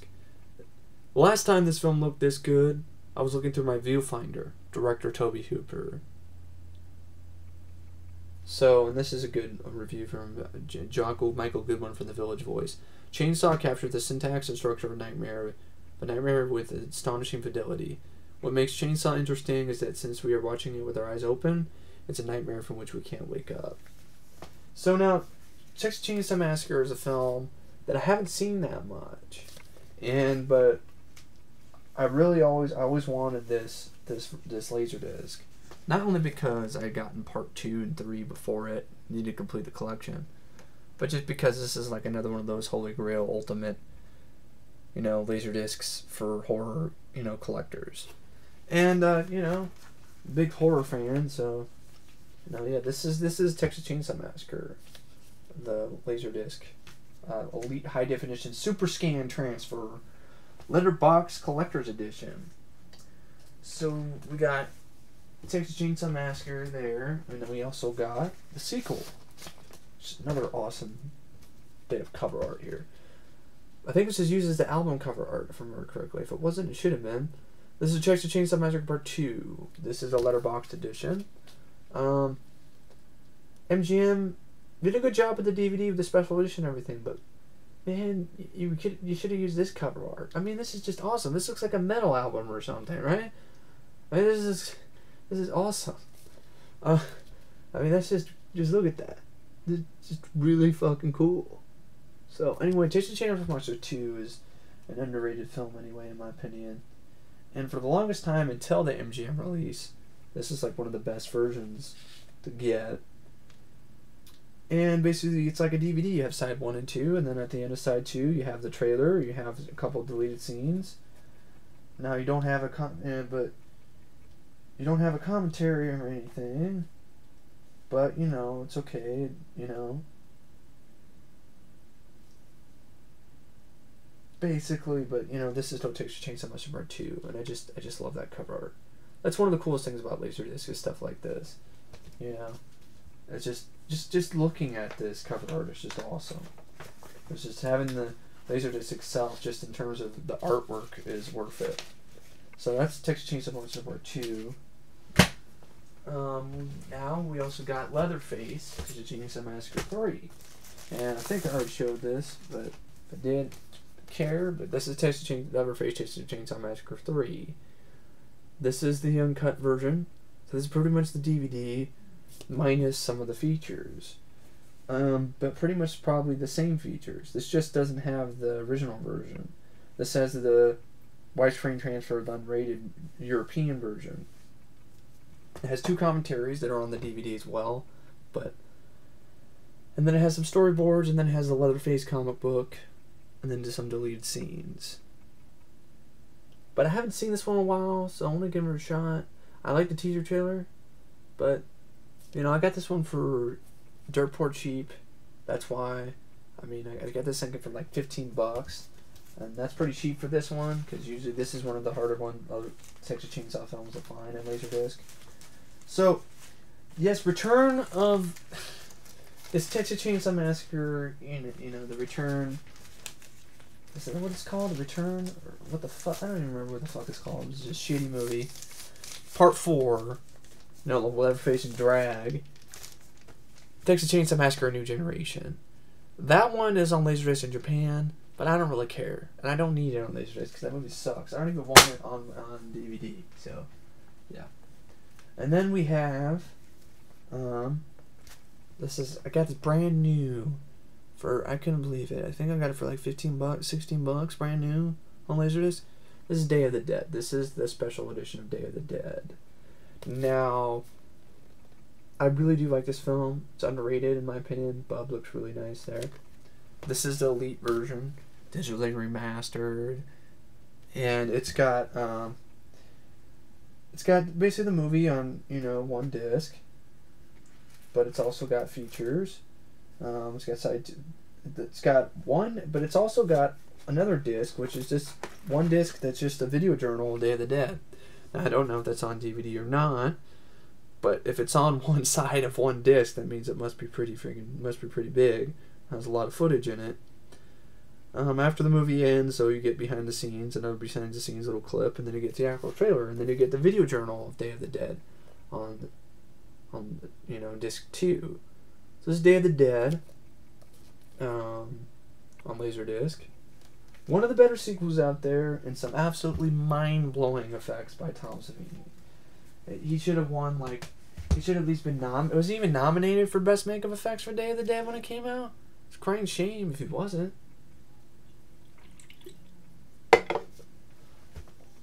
So we're almost done with the laser discs. So we're getting close. Um, now I'm doing the Laserdisc box sets. Now I don't know if I showed this already. If I did, you know, sorry. This is Criterion Collection Brazil. You know, I don't mind this movie. In fact, I do like the Love Conquers All ending, the happy ending, so to speak. It's got a documentary on it. It's got a video history. It's got the Love Conquers All version, the version that I actually like, and it's got you know, some other stuff as well.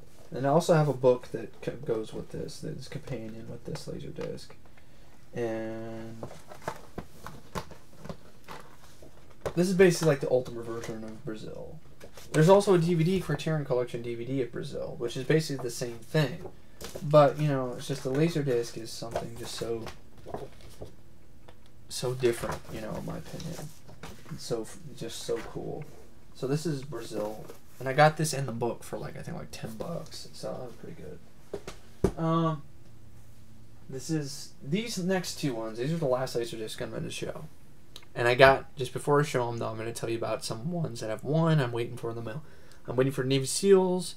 I'm waiting for. That's the one I'm waiting for. I'm waiting for Jack's back, and I'm waiting for the Island, which I got for like a discounted price, like for less than seven bucks. I got the Island, which isn't even on is is not even on DVD. So this is another one of the holy grails for laserdisc collectors, and I got this for. Yeah, I got it for twenty bucks, I think. And this is Dawn of the Dead. This is this widescreen director's cut. This is the version of Dawn of the Dead that has the commentary track that is not on the box set DVD. You know, the other DVD that, that I got for Christmas that I, I might have probably showed you before. This one has a new transfer.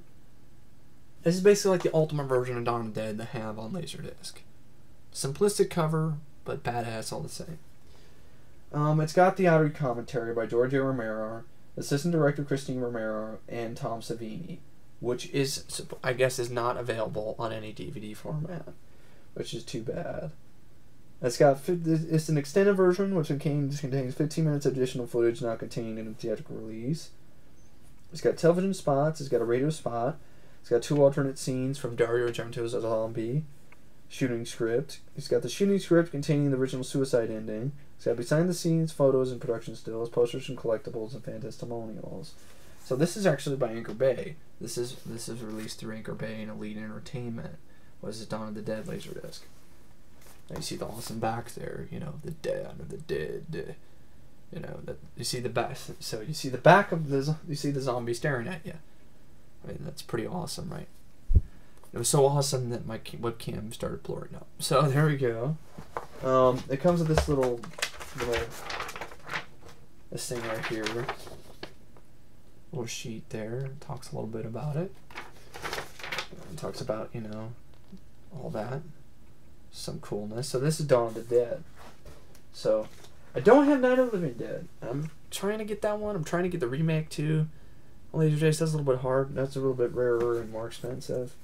But I can get the first one pretty affordably, and I probably will get it just to complete the collection, even though I don't really like the first one that much. Yeah, sue me. I, I'm I'm more into Dawn of the Dead, and Day of the Dead. But yeah, this is Dawn of the Dead, the Laserdisc, which is pretty awesome, right?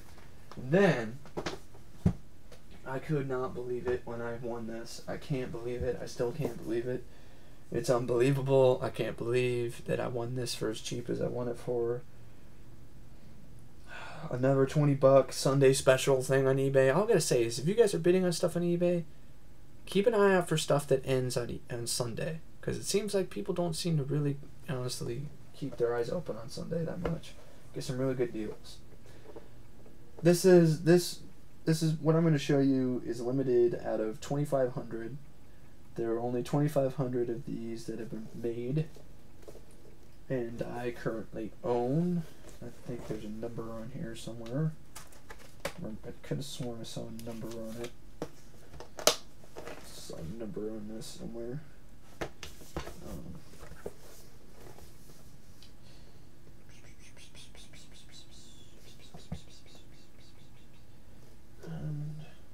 Yeah, there's 2,500.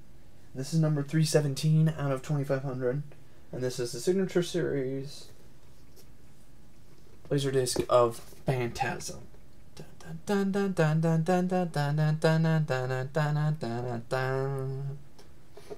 I don't even know if that's the right theme, but Phantasm. Isn't that awesome? The ball. Uh, look at that. It's awesome. And here's the more even awesome thing. This is number 317, 2500.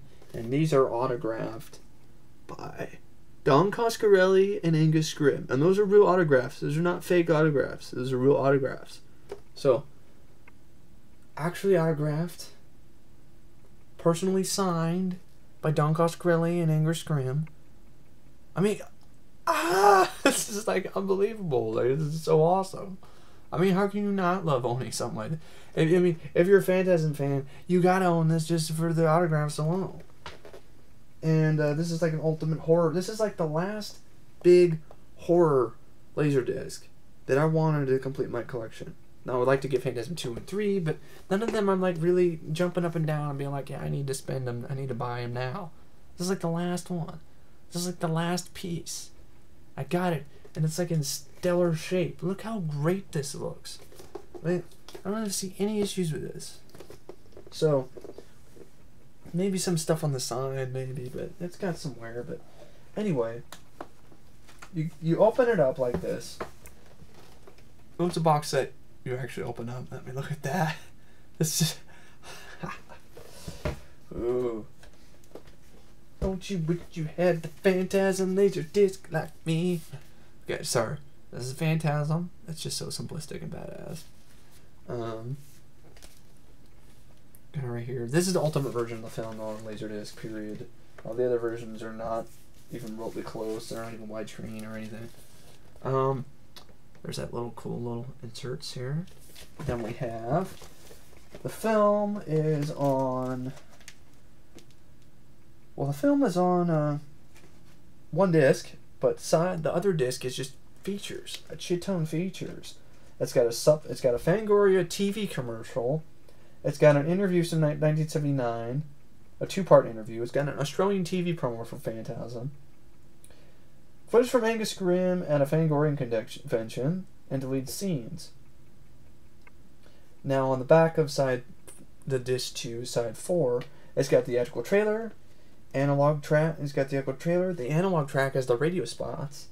It's got a 60 second TV spot. It's got a 30 second TV spot. It's got another 30 second TV spot. It's got home video, home movies on analog tracks. Is the disco version of the Phantasm theme is on the analog track. wow. Analog track sitting here at midnight. Long version produced by Phil Thornbury. Um, still frame archives. And it also has the Japanese novelization on the freaking late. What? I can read the laser. I can read the novelization of Phantasm on the freaking laser disc. That's like, it's insane. Wow. So that that's really cool. But it doesn't stop there. It's what I really like about these special limited edition box sets. They really do mean they they take their time with it. And then you have stuff like this. The soundtrack to Phantasm. Yeah. Unopened. It's called a gold CD.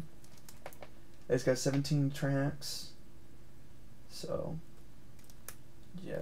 So it's Phantasm. The Phantasm soundtrack. So you get not only the movie, Phantasm, plus a ton of special features. You also get the soundtrack, which this is like the Jaws box set, which you get the movie and you get a book and you also get the soundtrack. So this is Phantasm. Probably, this is just so awesome, just unbelievably cool. Phantasm, with autographs by Angus Scrimm and Don Coscarelli. So yeah, that's Phantasm. So now, I mean, it's like anything I show you after this is not going to be nearly as badass, but okay, we'll do it anyway. We got some DVDs here. We got Eye of the Eagle, which is not on DVD. Um, I mean, it's not. I'm holding a DVD. Ow! I deserve that. It's on DVD. It's hard to find. It's a hard to find DVD. I got it for pretty cheap. It's like a Concorde New Horizons action flick. So I have the Eagle. Got this at some thrift store that I went downtown downtown Vancouver for. This is Witchouse. There's a limited edition, which really doesn't even have that much limited about it. it just has the movie. But these are these are pretty hard to find. These full moon DVDs anyway. Got it for pretty cheap. And this is Witchouse Two, Blood Coven, which has like a shit ton of features. This has this this is running time of this DVD is like over three hours. It has the direct, the extended director's cut of Witchouse Two. It's got a director and cast commentary track. It's got a Dispelling Rumors featurette. It's got two music videos, something called Bucharest or Bust featurette. It's got 15 years and 15 minutes featurette, an introduction to the DVD, a director spotlight of J.R. Bookwalter, and a filmo- filmography trailer reel with commentary. Let's get a shit ton of features on Witchouse 2, Blood Coven, but we can't get a DVD of Moontrap at all. Wow. I believe I've already shown these, but I'll show them again anyway. Unhinged. Matt was warning me about this movie that this one was a pile of shit. It's got a comedy uh, kind of commentary though on it. Uh, might be funny to listen to. Death Machine on Laserdisc, If Feast and Fear, underrated movie. Um, Hurt Locker, great film. Jeremy Renner should have won Best Pic- Best Actor as well. Saw us in the theater. Very powerful movie. Very powerful film. I'm gonna review it again sometime. Hope probably won't have any pictures just to just to please Summit, so I don't get my review blocked again. This fanboys want to give it another shot. I remember liking the film okay. You know, Jay Baruchel was fun. The cast was fun. Um, Dan Fogler was great. Some of the cameos were really good. I remember being kind of dep- needlessly depressing though at points, but this is fanboys. Um, this is the all the five of the prophecy films. Christopher Walken, even though Christopher Walken only stars in the first three. But yeah, this is all five prophecy films. Pretty cheap. This is Dark Shadows, the revival series with Ben, Cross. Wanted to give it a look because I like Ben Cross. Um, yeah, this is revival series, revival series from the '80s that didn't last very long. Uh, this is special edition Carrie with the feet with you know pretty good amount of features on it. It's classic. Um, this is the collector's edition of Cheech and Chong's Up in Smoke with features. It's got commentaries and behind the feature, behind the scenes stuff, and it's a fun movie.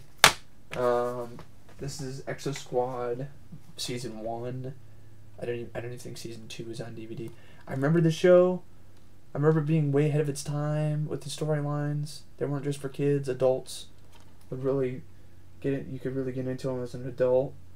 And I used to have some of the toys, so I was willing to give it a look. Exo Squad. And then we got, still got some more here. Um, we got Sledgehammer season one. David Ra- this these old Anchor Bay releases are the best. You should you're just better off getting these old Anchor Bay releases if you're a fan of the show if you want to check it out because this one these are the ones that have the features. They have a, a documentary with interviews with the cast. Has the unaired pilot episodes. It has TV spots. Has original TV bumper. It has you know all kinds of stuff. And I've always been curious about the show because it looked like a lot of fun, and I got this for twenty bucks at buybacks, and uh, this also comes with this cool little booklet here. Anchor Bay went all out with this. It really did some cool stuff here. Fun little stuff about Sledgehammer right now. like stuff. New time, Sledgehammer, dangerous, off the street and on. Friday at 9 o'clock, Sledgehammer. He plays hardball, but he doesn't shower with other men. Fighting crime is its own reward, Sledgehammer. Sledgehammer, 9 o'clock. Elvis lives. Elvis impersonators die. Sledgehammer. So Sledgehammer is like, and then you have this really cool thing. It's like a police report thing, but it's like basically a little booklet that it's like a police report. You open up like this, and it has all these behind the scenes little info and funny pictures and and cool stuff. It talks about the show and its creation, creation of the show and everything. And you know, they actually Anchor Bay knocked that out of the park with this. This is when Anchor Bay was cool, man. This was Anchor Bay didn't sell out and got bought out by Starz and started making shit. Okay, because the re-release version of the show that has both seasons in it by Echo Pigeon Entertainment, or whoever the hell it is, doesn't have any of the features, and the aspect ratio, I remember correctly from what people were saying, isn't even right. This is a Sledgehammer, and I'm definitely going to give this a watch sometime. This is when Anchor Bay knew what the hell they were doing and actually cared. Now, speaking of Anchor Bay, is another example of what they were doing. They used to do. Sleepaway Camp Survival Kit. This includes all three Sleepaway Camp films and this kind of weird, kind of corny little box, but it's kind of a clever idea. The survival kit. Sleepaway Camp. I'm not the biggest fan of the first film. I can understand why people like it. Um, Sleepaway Camp 2. I like this film a lot better. Um, Sleepaway Camp 3. This box set is getting harder to find, so I thought I'd get it now. Chance. One Camp 3 is decent. Then you have the Camp Diary, which is why Anchor Bay knew, was taken. Yeah, Anchor Bay actually cared, man. Little kind of production booklet type, you know, thing about Sleepaway Camp, you know, and sequels, talking about the Survivor. And then speaking of the Survivor, here is an extra DVD. This is the production footage from them finished Sleepaway Camp 4, The Survivor, which is only available in this set. It's not available anywhere else. So, that's Sleepaway Camp, the survival kit. I think I got it for like 35 bucks, which are probably like, oh, it's kind of pricey, but I'm thinking, you know, considering buying all three of these would probably be 10 bucks each. There was, you know, would probably be thirty dollars anyway plus tax. It probably would been 35 bucks anyway. So survival kit, it's really cool. Cotton little. And look, Anchor Bay was cool. Anchor Bay actually cared and actually did cool stuff like this. They're like, but you don't have Return to Sleepaway Camp. I don't want fucking Return to Sleepaway Camp. Rather that movie just return up my ass because it's where it belongs. This is the Mighty Ducks films. It was ten bucks. Ten bucks for all three. I was like, yeah, yeah, I'm doing that. I love this movie. I love the first two actually. I grew up with these movies. Doing doing do some reviews sometime.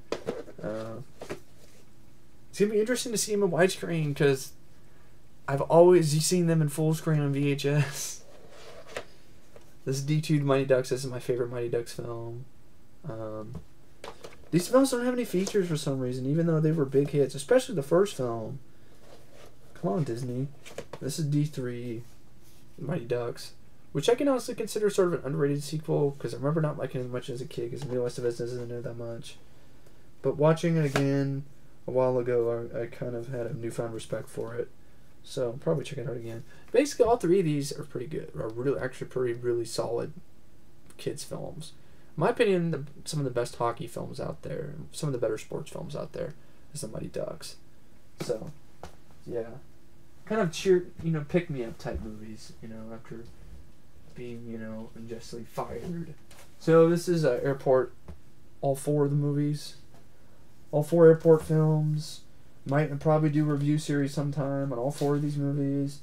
This has got Airport and Airport 1975 and Airport 77, Airport 79, yeah, the Concorde and its ridiculousness. So this is all four of them. And that was like 10 bucks for all four. So I was like, $10 for four movies. Not a really bad deal. Is Trick or Treat. Horror anthology that my friend Matt's been talking about as being one of the really good and I still haven't seen it yet. Um, Best Horror Anthology in Years by Fangoria.com. And I love horror anthologies. So, I got this for like, I think it was like six bucks. Now, I like the, this slipcover better than this. That's just kind of. Even though it might be what the monster looks like, but do we really need that up close to a shot? It looks kind of corny to me, anyway. So, uh, uh, this looks cooler. So this is Trick or Treat. For some reason, wasn't released in theaters, even though it was slated to be released in theaters. Got this for two bucks. I've been, I still have not checked this out. This is a director's cut of Daredevil, R-rated version. I've heard about it. I've not seen it, so I thought I'd give it a look. I like Daredevil. I still have the theatrical version on DVD, and I, I, I do. I like Daredevil. I even like the theatrical version. So I thought give it a look. I got it for two. This is two dollars, so wasn't really breaking the bank there. Um, I don't know if we show this or not, but this is Devolver Have fun with this movie. Yeah, it's a Killbot. so I was, I was kind of looking as like an unofficial sequel to Chopping Mall. Uh, the Streets Fire. I love this movie. My opinion, underrated. Michael Paré is great in this Diane, Diane Lane smoking hot. Willem Dafoe's a good villain. Great soundtrack. Doesn't have any features, but I do have the making of uh, VHS, so don't have to worry about that. If this is Frozen. I don't know if I showed it already, but this is a movie that my friends have been talking about being pretty good, so definitely thought I'd give it a look. Got it for like five bucks too, so not not really breaking the bank either. This is Abominable, another movie friend my friends have been talking about. This is Anchor Bay release. Looks like it might be one of the last Anchor Bay releases when they were still cool before they got bought out by fucking Starz.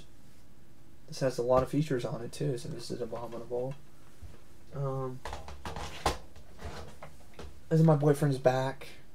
I really do like this film.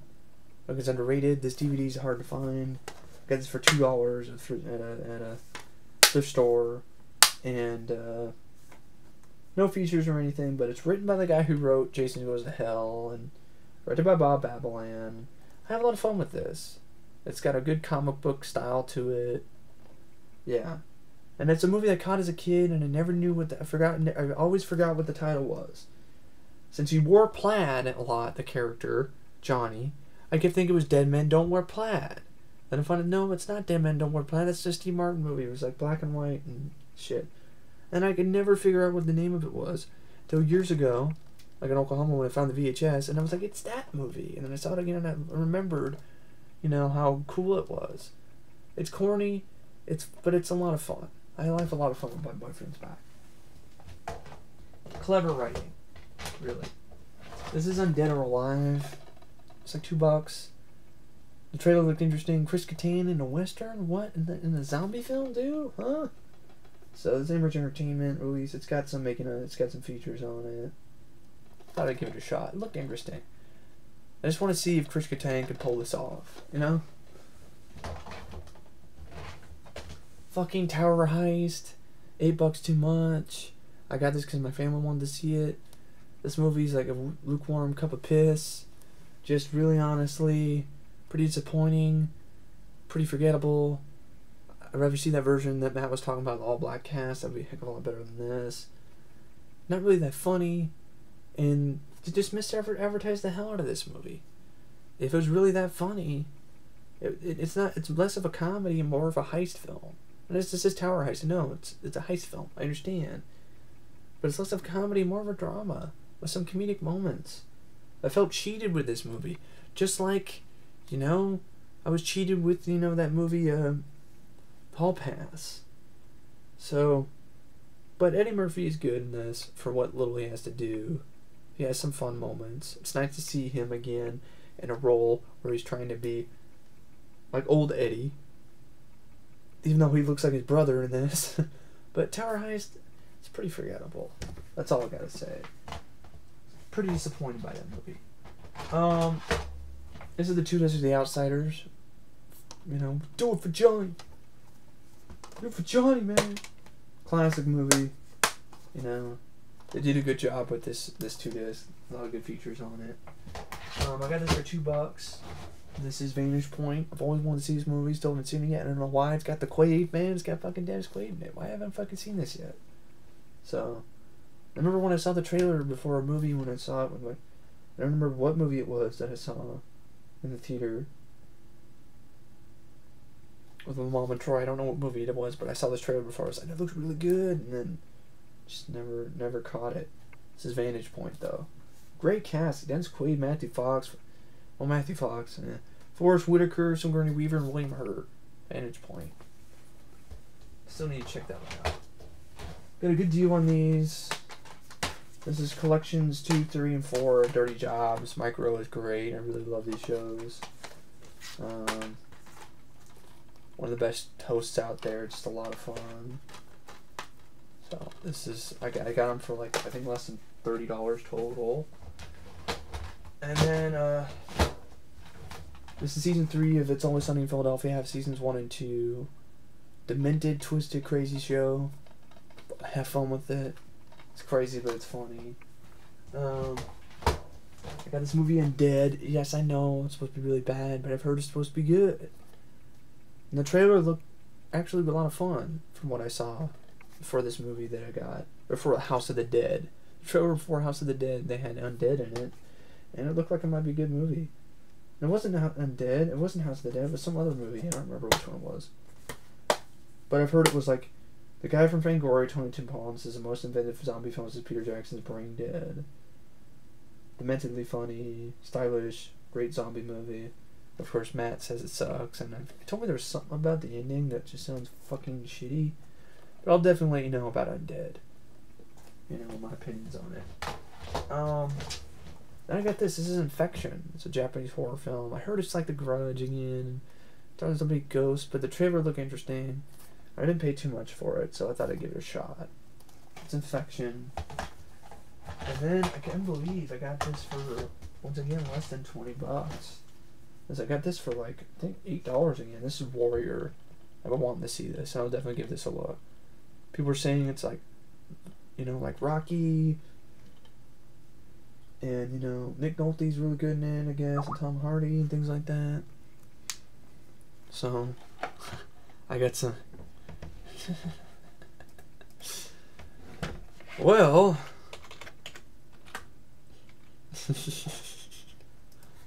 uh, friend of mine was, you know, talking me on Skype. Anyway, this is a Warrior, Tom Hardy and Joel Edgerton, and it's a UFC fighting film. So I haven't seen it yet, but I heard a lot of good things about it. And I always the trailer looked interesting and looked like it might be a good movie. So get for cheap. I'll probably give it a look sometime. Warrior. Um. I also got Daylight, the collector's edition. Um, underrated movie. This has got a lot of features on it, so a lot of fun with this movie. Even though the people in the movie they're stuck in the tunnel are kind of dicks, but hey, no what can you do? It's Ferris Bueller's Day Off, the Bueller Bueller edition, which is stupid. Just call it special edition. Bueller Bueller edition is dumb. This has a lot of features on it, documentaries and stuff. Classic movie. Glad to own it on DVD, and I was waiting to own it on the special edition. I got it for two bucks, so can't go wrong with that. And uh, also got Hot Shots and Hot Shots Part Two. I got both of these for ten. Two movies for ten bucks. Remember, no, it was actually less than that. It was I think it was eight dollars. Two movies for eight dollars. These are actually when the double feature do DVD sets were actually the actual DVDs that you would get separately. Look at this. It's the same DVD that you would get separately. And they both all both have the features that are on other DVDs. So you're not getting cheaped or gypped out at all. Hot Shots has the making of an important movie featurette in the article trailer. And Hot Shots Part 2 has the featurette too, and the trailer on it. I have a lot of fun with these movies. This is when the Zucker brothers knew what they were doing. Even though they did not have anything to do with these films, which is understandable. no wonder. It's sort of Zucker like, but it's uh, Jim Abrahams. Maybe Jim Abrahams should have directed, you know, the scary movie sequels after part after part two. Maybe they'd be better. Maybe Jim Abrahams and company should have brought their and Pat Proft should have brought their uh, you know their touch to those movies.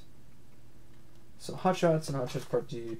I like Hot Shots Part Two better because it's a fucking Rambo parody. It's actually really clever.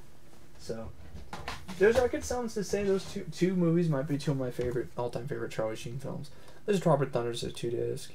This has a commentary with Robert Downey Jr. in character, and I watched this again, and I have a lot of fun with it.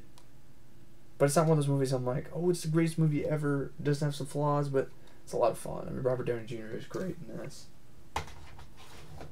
I'm just a dude playing another dude disguised as another dude.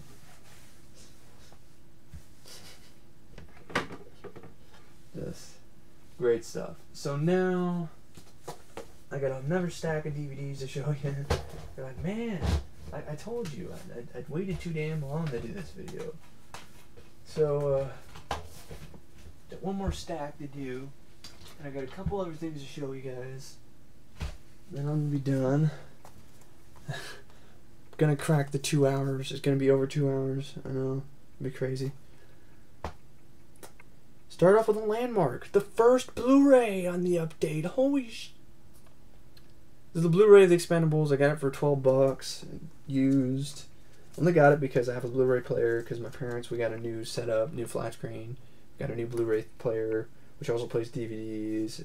Because it came with speakers that we wanted for our system. That's why. It's Blu-ray, but also has the DVD on it. So I'm not just stuck with the Blu-ray. So I got the DVD, got the Blu-ray here, which looks exactly like a DVD. It's not any different. And then you have the the DVD and you have the digital copy. The digital copy is stupid. It really is. Dumb. But anyway, I love the Expendables, and I wanted another copy of the DVD. And if I we have a Blu-ray player now, so I was like, okay, I'm gonna get Expendables on Blu-ray, only because it has that documentary Inferno, which is not on the DVD. Which bullshit. It's not on the DVD. Fuck it. I get the DVD and the Blu-ray in one in one film in, in one set. So, all right.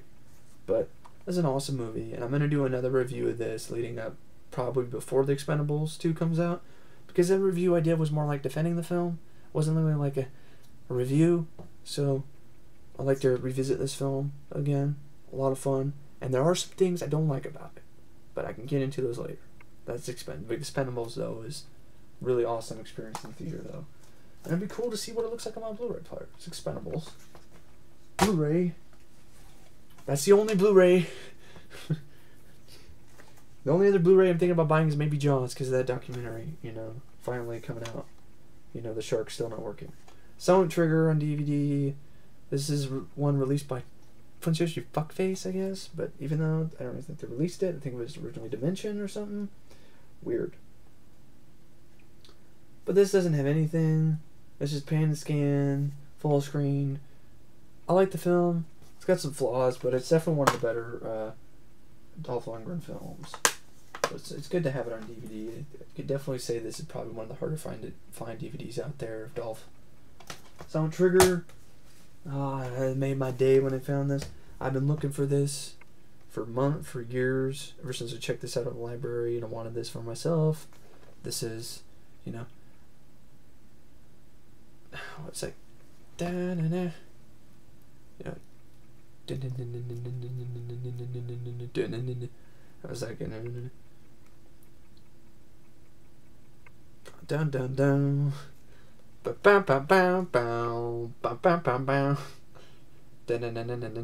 This is Escape from New York. This is the I can't remember the theme.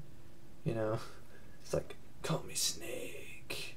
It's like how come I don't remember the fucking theme? I did a tribute to the fucking music from Escape from New York. Why am I not remembering it? But anyway, this is Escape from New York. This is the ultimate version of the film on DVD. It's a two disc collector's edition. Looks so badass. It's so cool. Ah. This is when MGM gave a fuck.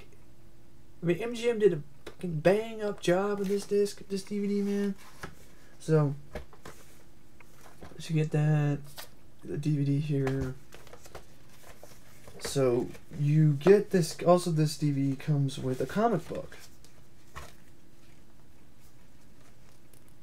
Snake Plissken Chronicles, which is pretty cool.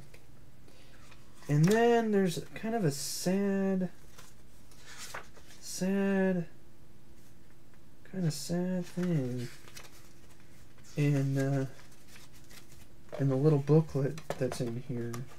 It's an advertisement slash booklet of you know the. That's just an ad, and this game never ever came out. Right here, Snake Plissken's Escape. The game is on. Introducing legendary Andrew here in the video games, Namco. The game never came out. Remember correctly. I don't remember this game ever coming out. I don't remember Snake Pl- uh, or Escape from New York game or Snake Plissken game. That just sucks. You know how awesome that would be to play Snake Plissken in a fucking video game? It's a missed opportunity, in my opinion. So anyway, you know, this is what Escape from New York is what Lockout was trying to be, but fucking failed miserably. So basically, what this is, you got the features and everything. Um, even though I don't have a booklet that tells me what's going on, but I don't think it came with a booklet. Just the features are listed on the back. So the Escape from New York, the two is. I can't believe I got it for ten ninety nine, man. It's a hell of a deal. It's got the audio commentaries. It's got the Escape from New York featurette. It's got the Making John Carver Snakes Plissken Chronicles, which is like the comic book. But yeah, classic movie. Awesome job on the DVD by MGM. This is way before this is before they ended up being bankrupt. So yeah, great film, great DVD. This is the best way to own it. Escape from New York. Great film. Another good uh, DVD here. Stand by Me, classic film. This is deluxe edition. You know, it's kind of. I mean, you get this kind of photo book thing, but it's it's just kind of well, it has some. It's basically got a lot of information from the press kit, basically, and all the features on this are pretty much the same as the other special edition DVD that came out, but it's still Stand by Me. And then you also get the soundtrack. I wanted to give this again because this is another movie I grew up watching as a kid, and it showed you that Stephen King can do something other than horror. That you know, because the the movie's based on his, his short story, his novella, The Body. It's just a great film. Just and you know, great performance for River Phoenix. You could really see potential that he had of being a great lead. It's really too bad that his star got waste his star waned before you know got as bright as it could have. Basically, there's Mr. Mom. Um, MGM release. It has a little collectible booklet, which I always liked about these early MGM releases that kind of talk about little production notes things. But this is a classic. Um, great movie. Michael Keaton's great in this. A lot of fun. Really, really a lot of fun movie. I want to give another chance. I love Keaton too, Mr. Mom. Um, then I also got the Breakfast Club. This is the flashback edition. This has a bunch of features on it. Has a 12 part documentary, Sincerely Yours, interviews with the cast. It's got the, something about the origins of the Rat Pack, and it's got a commentary of Judd Nelson and uh, Anthony Michael Hall. This is like the ultimate version of the Breakfast Club, basically. Um, this is North Star. Wanted to check this out. This is the only film. This is the first time this movie's been released in widescreen. It's got Christopher Lambert in it, James Caan, and it's like a period piece. And it always looked interesting, sort of like a western in Alaska with Christopher, Christopher Lambert. So North Star. We got the Naked Gun trilogy, which I think I got for ten bucks. So that's a good deal to get three movies, ten bucks. Once again, it's another set that the DVDs all have the same features that the other DVDs had. Commentaries by the Zucker brothers and the trailers and stuff. But the first Naked Gun doesn't have as the features that the other special did. there. I think there's like a special edition of Naked Gun that has more features on it. But I don't really care because it's nice to get all three of them in one. You know, I like it. That's what I like going to buybacks. I get those deals where I can pay like eight ninety nine. That's how much I paid for it. Nine bucks and get three movies. So that's Naked Gun trilogy. Two ninety nine. I think it was like three ninety nine for this two disc of Lost Boys. My other two discs is in Oklahoma. I wanted to get another one. Lost Boys is great. I never got a chance to watch the documentaries, so that's another reason why. Fantastic movie. Great, great two special edition. This is definitely, I guarantee, it's hard to find on DVD. This is Letters from a Killer with Patrick Swayze. So I was curious to see about that. See this movie. Different kind of per- performance by Patrick Swayze. He's the guy who's on death row. So this is Letters from Killer. DVD, full frame, but I guarantee it's pretty hard to find. I got it for like five bucks. And then I got Behind the Mask of Rise of Lyndon Vernon, because I've heard a lot about it. Matt, you know, and company, and the cast is just like chock full of horror icons and classics, and, and the trailer looked interesting, and I just have never actually seen this film, so glad to pick it up for about five bucks. And I got this movie that looked really interesting. This is Unspeakable, with this actually has a Dina Meyer from uh, you know from Starship Troopers. It's also got Dennis Hopper, the late Dennis, great Dennis Hopper, Lance Henriksen, Jeff Fahey, and Jeff Fahey. and uh, it sounded interesting. It was like a suspenseful psychological thriller, and it looked interesting. So this is unspeakable. So hopefully it doesn't isn't unspeakably shitty. And this is the Weird Science. This is the flashback edition. So just like a Breakfast Club, this is the flashback edition. I don't really need this. Do do I really need that? I mean, don't really, just kind of a waste of paper. This has the four part documentary on on the film, and a pilot the pilot episode of Weird Science, the TV show. But I don't mind the TV show. It's a theatrical trailer. I got it for five bucks. I was like, yeah, Weird Science special edition, yeah. I love Weird Science. It's a great movie. Weird Science, weird. To Live and Die in L.A. Special edition, MGM the UA Special edition. Um, commentary. It's got a documentary on it. Classic movie. One of Will one of freaking best.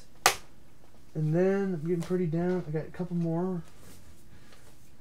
Got this at a good. I got this at First Store.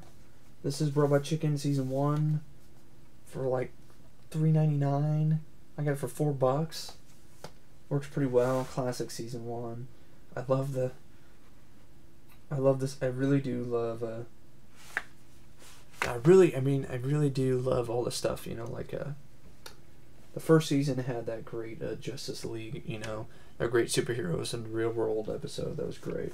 Great show, ambitious, a lot of fun. Jaws, a special edition with new footage. Jaws, Jaws talks, and Jaws is funny. And I got these two. These are last two DVDs. Ed Wood, the special edition, which has a lot of features on it. I guess this one Touchstone actually gave a crap and actually gave a movie features, probably because it's freaking Tim Burton film. But this is one of my favorite Johnny Depp films. I like Ed Wood a lot. A lot of fun. Um, and I got Drive Angry. Because I heard from my friends it's not really that bad. And this isn't the 3D version, it's regular 2D. And Patrick Lussier, he directed, I think, My Bloody Valentine 3D, and I didn't mind that. And I heard it's a lot of, you know, Nick Cage, some brutal violence, some good blood and guts, some good action. Don't tell me Nick Cage in the back doesn't sort of look like Cameron Poe. Kind of look at it, kind of like Con Air too, in a way. Stop being blurry. Can we? Hey, hey, webcam. Clear up. Thank you. Thank you very much. Drive Angry. And uh, that's it for the DVDs, but I got some really special, kind of real quick, some special stuff, stuff to show you. Um, I was going to show a little bit more, but I'm getting kind of tired because it's been a long video. Uh, but I'm definitely going to show you guys this. These couple things here. And one more last truly really badass thing. This is a little collector's item here. This this this was who is Darkman. This was sent to people, the video distributors, to get them hyped for Darkman. Um, for Darkman coming out on DVD, I guess. And th- this is missing something. This is missing masks. This came with like masks of like Liam Neeson, I guess. They're kind of weird, but anyway, for the Darkman fan of me, but it was inexpensive, so I was like, okay, cool. That is pretty cool. And this folds out. It's pretty elaborate video store display type thing. Um, this is what it all looks like, I think, like this. So, so yeah, this is Darkman video display store thing from like back in the '90s. So, it's a good thing for a Darkman fan. Now, here we go. This is the Blob press kit. This is the press kit from the Blob. Yes. This is the same thing that the press will get when the Blob came out in 1988. Now this comes with this, which is basically, you know, the press kit, you know, booklet thing. Which has basically the cast and crew, you know, like what you see at the end credits. And then it has little uh, production notes. Now, some of these production notes, some of this stuff is misspelled. Like I just read through some of it, and some of these are some really bad misspellings and some of these things. It has little biographies of the actors and little production notes and stuff. So, okay, that's cool. But it, of course, it's it's it's authentic. TriStar Pictures. You know, TriStar Pictures. Got the white horse. This is the press information. Then you get these these really cool still photos. The blob. These are still black and white photos of the blob.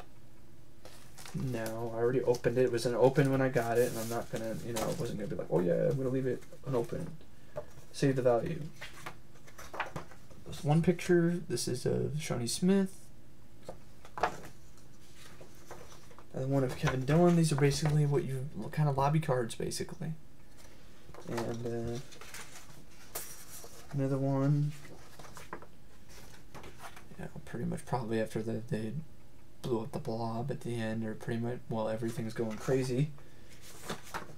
Probably when he said before, you know, after he said, I think you pissed it off. And you have more cool photos here. Blob. And then you have it's a pretty good amount of photos here. You have another one, Aftermath in the snow. Blob. They're not color, which, okay, doesn't really matter. Still pretty awesome. Um, got Kevin Dillon. There we go. Kevin Dillon looking awesome. Then we got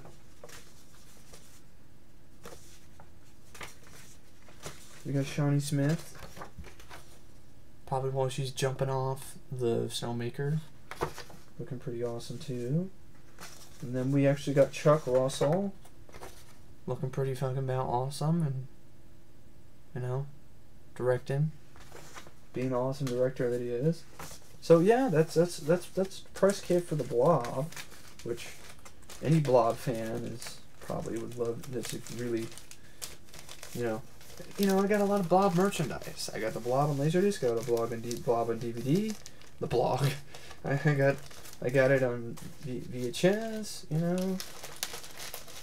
I got the press kit. I got the novelization. The only thing I don't have is like props from the film, but those are really expensive. So I don't really want the movie poster unless it's the VHS rental poster, because the movie poster is kind of lame. But anyway, that's the Blob press kit. And then I got one more thing. And uh, one more thing to show you guys. And then I'm gonna end this video. Cause It's not only getting pretty long, but it's also getting pretty kind of late on my end. If you know what I mean. So, here we go. This piece of vintage awesomeness was had by me for about 25 bucks on eBay. This is something that you would see in a video store, and there's a display. And it works, it lights up and everything. Um, first, I'm going to show it to you, and then I'm going to try to light it up for you. this is an official See, Baker and Taylor video probably isn't around anymore. This is an official. See, you see the Orion Home Video logo. Standee for video storage for Robocop. It's just awesome. Really. That's awesome as you can get. I mean, really, really freaking cool. Now, just by itself, it looks pretty cool, right? Well, there's more to it. This display also lights up. Now, me get past the stack of DVDs and laserdisc and tapes plug this in. I'll see what's going on here. It's old, so it might have a moment where it kind of, you know, jitters a bit. Now I'm going to turn it on first, and then I'm going to lift it up. Let's see if it works. Okay, it works good. Okay, we got it. There we go. That is the Robocop display in action. Lit it up. Awesomeness. Now, probably look better from far away or kind of bright. So yeah, that's the Robocop display. Vintage Robocop display. So, um, that's it. Uh, thanks for watching the update, and I will see you later. See ya.